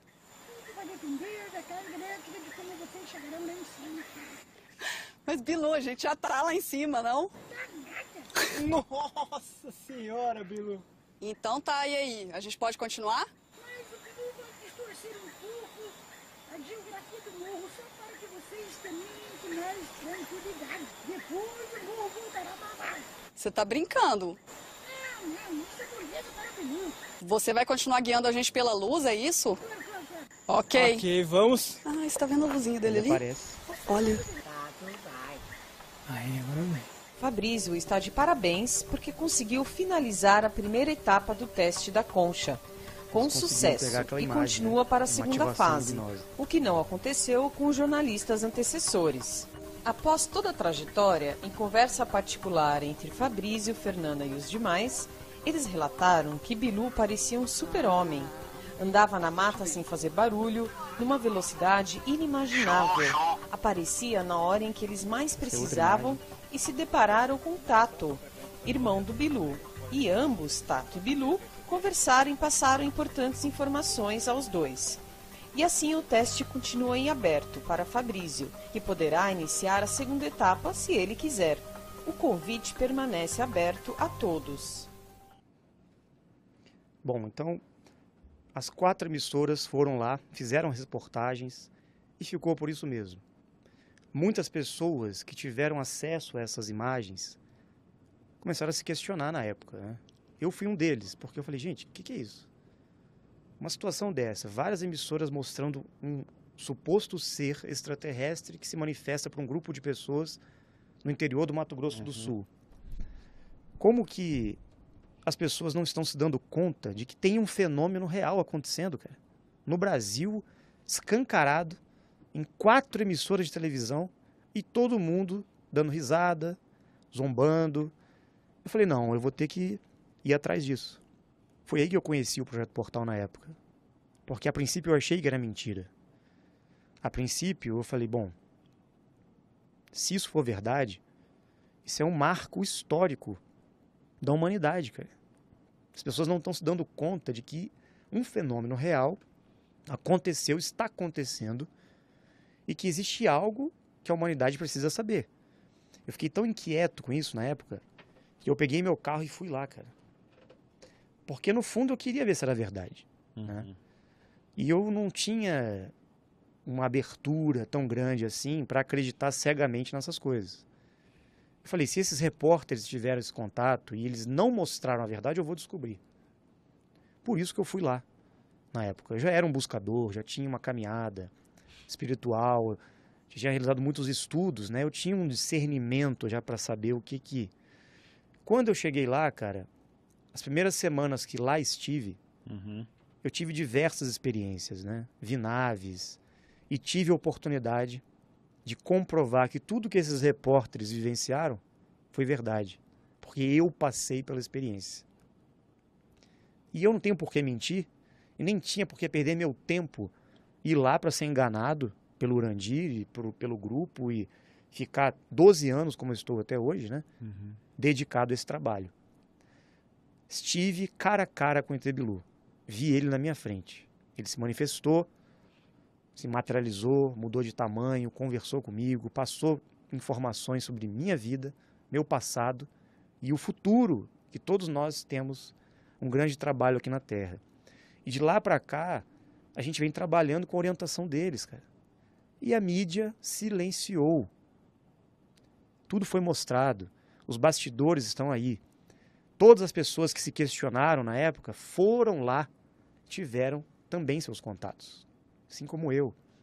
Muitas pessoas tocaram nele, viram de, dia, tiveram centenas de contatos. Eu tive mais de 200 contatos de conversação com eles. E de lá para cá a gente vem trabalhando, né, em tudo aquilo que eu falei no início da nossa conversa hoje. Por que, que ele apareceu? Para trazer conhecimento, para ajudar a gente, para despertar a humanidade. Foi dessa maneira, talvez porque era a única forma que, mesmo através do choque, da brincadeira e da descrença, todos iriam saber que ele existe e que a coisa aconteceu, mesmo na brincadeira que fizeram. E ele vai voltar. E será que as emissoras de televisão vão querer apresentá-lo? Ou vão de novo tentar ridicularizar? Um fenômeno fidedigno que veio para trazer informação, conhecimento, benefícios para todos nós. E até hoje, né? É o meme busca em conhecimento. E as pessoas estão buscando conhecimento? Ou estão na ignorância ainda? Vivendo uma vida medíocre, escravos do sistema? Fazendo piada porque, no fundo, tem medo de encarar né, a verdade. Então, é mais cômodo você continuar na zona de conforto do que, de fato, buscar o conhecimento, porque você vai enfrentar um choque consciencial que pode mudar a sua vida. É verdade. É. Então, a gente apresentou aqui a cronologia dos fatos. Fica aberto para o Danilo Gentili, se quiser vir aqui falar desse assunto, tá tranquilo. Pro, era Cristiano da Record, o repórter Cristiano da Record, da época, não sei o sobrenome dele, mas é o Cristiano, ele vai saber quem ele é. O da Rede TV, que era o Fabrício. Fabrício, é. Fabrício, esse, esse talvez fale. Sim, mas ele sumiu também. Ninguém Sumiu também? Tá, é. Caramba. A gente procurou todos eles, né? Só o Danilo que está aí na ativa. Sim, ele está na mídia forte É, ainda. mas ele fala às vezes do Bilu zoando, né? Claro. É, mas ele sabe que ele viveu, né? Se ele for honesto mesmo intelectualmente, talvez por medo de perder o emprego, ele não fale, ele continue brincando porque ele depende do salário dele na televisão. Né? Mas se ele despertar realmente, que acredito que ele vai. Quer dizer, eu não sei onde ele vai enfiar a cara quando o Bilu voltar, né? Mais pra frente e todo mundo ficar sabendo que foi verdade. Ah, se isso acontecer É. realmente, aí vai ser complicado Vai. para todo mundo aí. Como é que vai ficar a carreira dele, né? Então é isso. Resumindo a história, o Dáquila hoje, o projeto Portal do passado, nós recebemos diversas informações, Uhum. orientações e direcionamentos para realizar um trabalho de levar conhecimento, parcerias, descobertas científicas, inclusive, que eles nos passaram o caminho, como o Ratanabá, por exemplo, Sim. com várias pesquisas. A gente está trabalhando bastante na área da saúde também para trazer conhecimentos de alimentação, de prolongamento da vida, estudos sobre conhecimentos antigos que precisam vir à tona. Sim. E eles nos orientam. De fato, eles querem uma intervenção. Isso que ele fez foi para dar um choque, para mexer com a população Uhum. para dar aquele. É polêmico mesmo. Só que se não fosse isso, como que as pessoas iam despertar mais para frente? Entende? Então, talvez tenha sido uma estratégia sábia por parte dele. Ele acompanhou o Urandir a vida inteira, o Bilu, Bill, né? Idbel, disse o nome dele aqui, né? Tem até uma foto do retrato falado, que algumas pessoas que viram ele como humano, ele se manifestou como nós. Como nós. Não com aquela forma que ele se mostrou na Record, né? Uhum. Porque ele pode se apresentar de várias maneiras. Ele transfigura, ele muda de aparência, de tamanho. Ele tem, assim, habilidades de super-humanos, né? Uhum. Esse é o retrato falado de algumas pessoas que o viram, tá? Pode colocar aí, sorrisão. Vamos lá, o retrato ali, ó. O Bilu, mais uma forma humanoide, assim, Isso, né? é. O Urandir apresentou Sim. essa, essa, essa foto. Muitas pessoas viram ele assim. Aham. Eu tive a oportunidade de vê-lo humano também. Só que estava um pouco diferente dessa imagem. E é fantástico, cara. É impressionante, assim. Né? E eles estão aí, cara. E eles sempre estiveram presentes. Então a ufologia, ela tá patinando, cara, às vezes, em coisas que faz parte da agenda alien. Uhum. E não da verdadeira ufologia. O que, que nós estamos buscando? Essa unificação da ufologia casuística, da ufologia arqueológica, Uhum. da ufologia esotérica espiritual, da ufologia moderna, que na verdade não é moderna, é a mais antiga de todas. Porque todos os contatos ufológicos no passado eram assim, físicos. Os anjos conversavam com os homens, com os profetas. E agora eles estão voltando. Só que para nós isso é um absurdo, né? Tem que virar meme, porque imagina, uma raça extraterrestre, um Uhum. ser vindo conversar com a humanidade, passar conhecimento. Isso é chocante. Agora, se você lê isso num livro, não é chocante. Na Bíblia, tudo que está ali não é chocante. Todo mundo acredita, porque alguém contou É. que aconteceu lá atrás, há 5, 2, 3, 4 mil anos. Se acontecer hoje, então é mentira. É complicado, né? Tem, tem coisas que são, ah, são intangíveis, como eu sempre falo. Então a gente está sempre estudando. Se quiser algum perito, da- manda uma DM pro paranormal.corp no Instagram, fala, ah, eu quero as imagens para analisar. Fiquem à vontade, tá tudo tranquilo aí. A gente apre- apresentou a cronologia dos fatos, a gente apresentou os bastidores da notícia, porque na televisão é tudo um circo, é tudo editado do- de acordo com o que as pessoas querem. Eu adoro o Danilo Gentili, já fui no programa dele, vocês podem colocar lá quando tinha um Master Podcast, fui convidado. Ele me tratou super bem, ele é uma pessoa do bem. Se ele quiser contar aqui pela primeira vez desse assunto, porque ele geralmente vai falar de comédia nos outros podcasts. Se ele quiser dar um, um testemunho sobre o ET Bilu, se ele quiser falar sobre as experiências paranormais na vida dele, que ele tem algumas que eu já vi que são bem interessantes, que ele teve algumas perdas na vida dele. Então, ele é um querido, tá- pode estar convidado aqui, é só entrar em contato que a gente encaixa ele na agenda, porque é interessante a gente avançar nisso, ao invés de ficar só na chacotinha, no brinquedo. Que eu vi aqui no chat tem um monte, tá dando uma audiência muito boa, tem mais de 4 mil pessoas assistindo. Fico muito feliz. Já deixe o seu like aqui, inscrevam-se no canal você que veio para ver o Bilu, você que está brincando, escrevendo Bilu Bilu Teteia. O nome foi dado, o Urandir explicou aqui exatamente para causar toda essa É. esse frisson. Foi uma jogada de marketing dele mesmo, do próprio ET.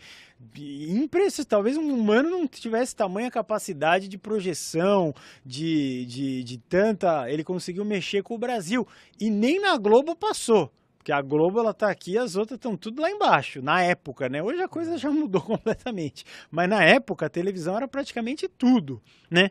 Então, estamos aí para todos aberto, para os repórteres, para quem quiser contestar, para não sei o quê, mas venham com fatos interessantes, não só ha ha ha, isso é mentira, e ha ha ha, isso é mentira, eu já li 500 pessoas falando. Até papagaio fala, né? É, falar qualquer um fala. Eu não sou perito, então eu não vou falar que o vídeo é falso, porque eu não sou especialista, eu não conheço todos os chroma keys que tem em Hollywood, todos os eh, só um cara que conhece vai falar, ó, isso aqui é isso, isso, isso, isso, e tem que ser idôneo, tem que ter moral, tem que ter ética para falar. Também não é qualquer um que pode falar, dependendo do caso. Assistam a perícia do Rutan no canal É. Documentarista. Sim. E o Rutan, já convidamos ele, ele fez algumas outras perícias de coisas paranormais e não sei o quê. Vem cá falar com a gente, fala desse caso. E a gente pode fazer um programa analisando o Bilu, outra coisa que você viu e não sei o quê. E faz tudo e fala o que você achar. E tá aberto aqui. É é isso que é o paranormal. É sem julgamento. Porque já o, o próprio Jorge Versilo, quando veio aqui, falou que toda a família dele julgou ele quando ele falou que o casamento dele ia ser celebrado pela Shelian que é uma extraterrestre, que inclusive protege esse programa aqui, que nós devemos todo o sucesso deste programa a um extraterrestre. E aí? Como até eu mesmo vou lidar com essa própria informação, que há pouco eu também poderia achar que isso era uma baboseira infinita. Vocês viram, vocês acompanharam, o programa passava para 40 a 60 pessoas assistirem. A Sheliana destravou as portas lá com a Mônica de Medeiros e. Pum! Foi um milagre extraterrestre. Tem explicação? Não.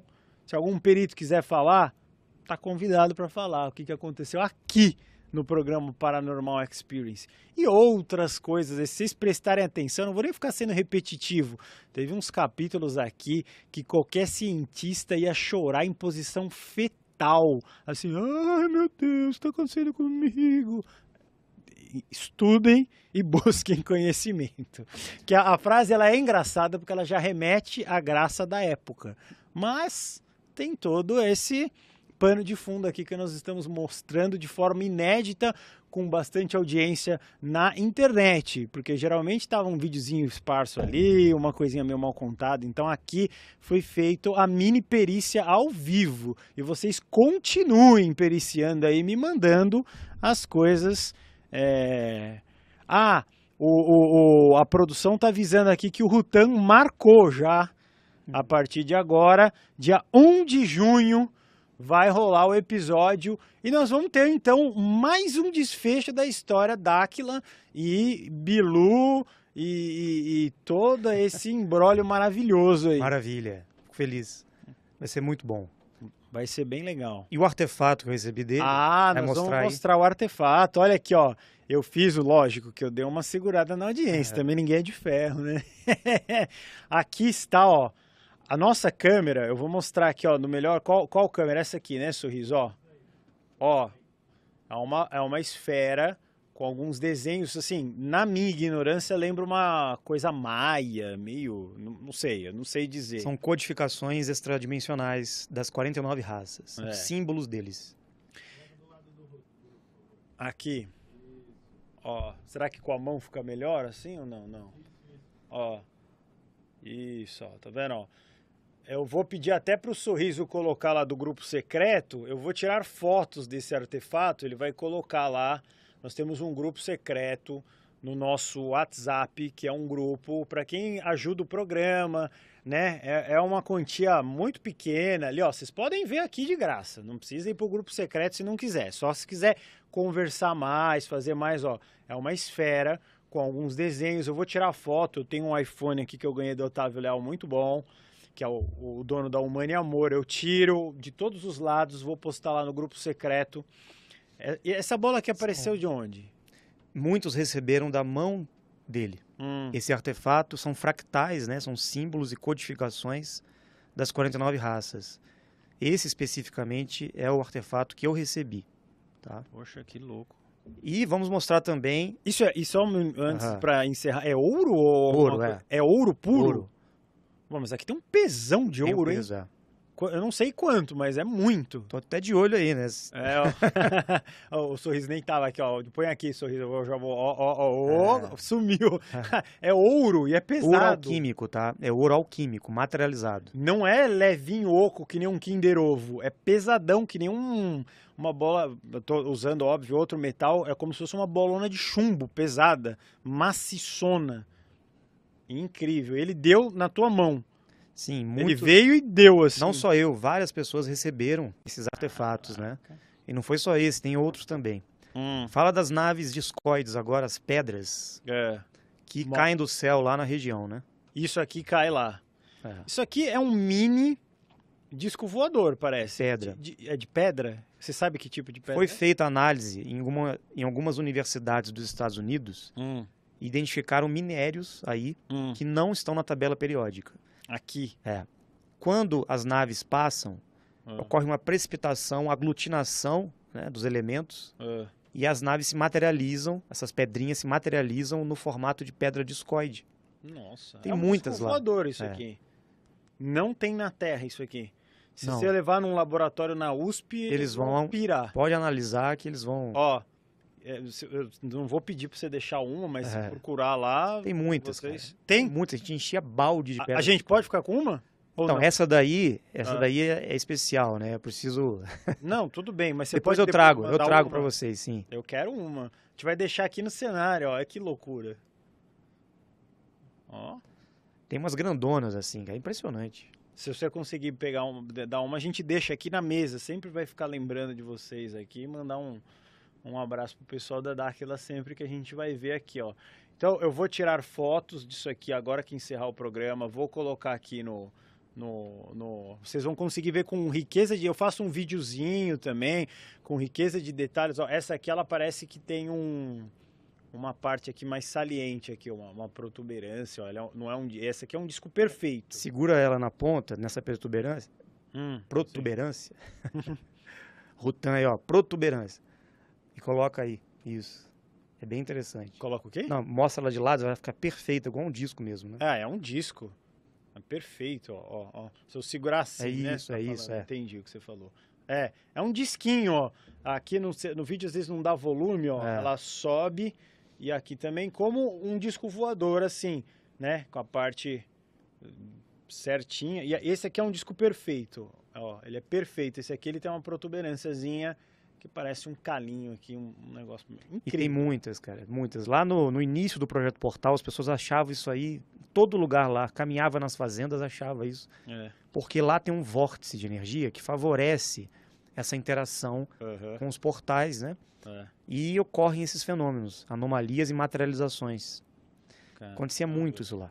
Deixa o recado que você quiser, onde a gente acha você, o seu canal, o seu Instagram, o Projeto Dáquila, tudo que você quiser falar para as pessoas ali. Fica aberto aqui no Paranormal, vocês são sempre nossos parceiros aqui. Obrigado, Guru. Obrigado, Ale. Obrigado a toda a produção do Paranormal Experience. Sempre que for possível, nós vamos estar somando forças com vocês. Presidente Urandir, de Dáquila, todos os pesquisadores, orientadores, todo mundo está junto nessa jornada, né? Nós temos nossos canais no YouTube, o meu, Rafael Hungria.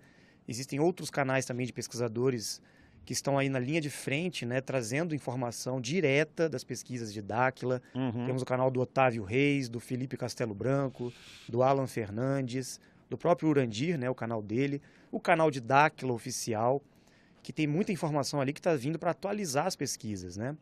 Dentro dessa expansão que nós chamamos hoje de Ecodáquila, que é o ecossistema, porque a gente vai atuar em várias frentes. Lembra que eu falei que nós teremos uma intervenção social, Uhum. mundial, representando um legado que tem que ser deixado na Terra? Claro. Então, em todos os setores, nós vamos atuar.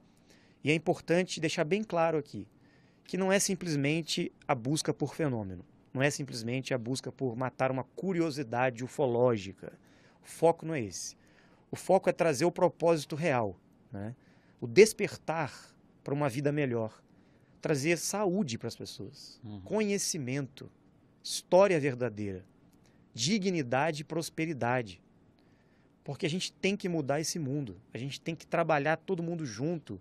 Os espiritualistas, os cientistas, os ufólogos, todos que estão nessa jornada do conhecimento. E o Bilu veio para unir todo mundo. Mesmo que estão fazendo piada, mesmo aquele que está rindo, um dia vai estar junto com a gente aí, rindo, na verdade, de Uhum. toda essa manipulação que eles fizeram. Claro. E se a gente puder construir juntos um trabalho que vai desmistificar todas essas mentiras e manipulações, a gente vai ser vitorioso no final. Aqueles que querem o bem, Uhum. que estão atrás da luz do conhecimento. Então eu deixo meu agradecimento a vocês mais uma vez, que a gente possa sempre caminhar juntos.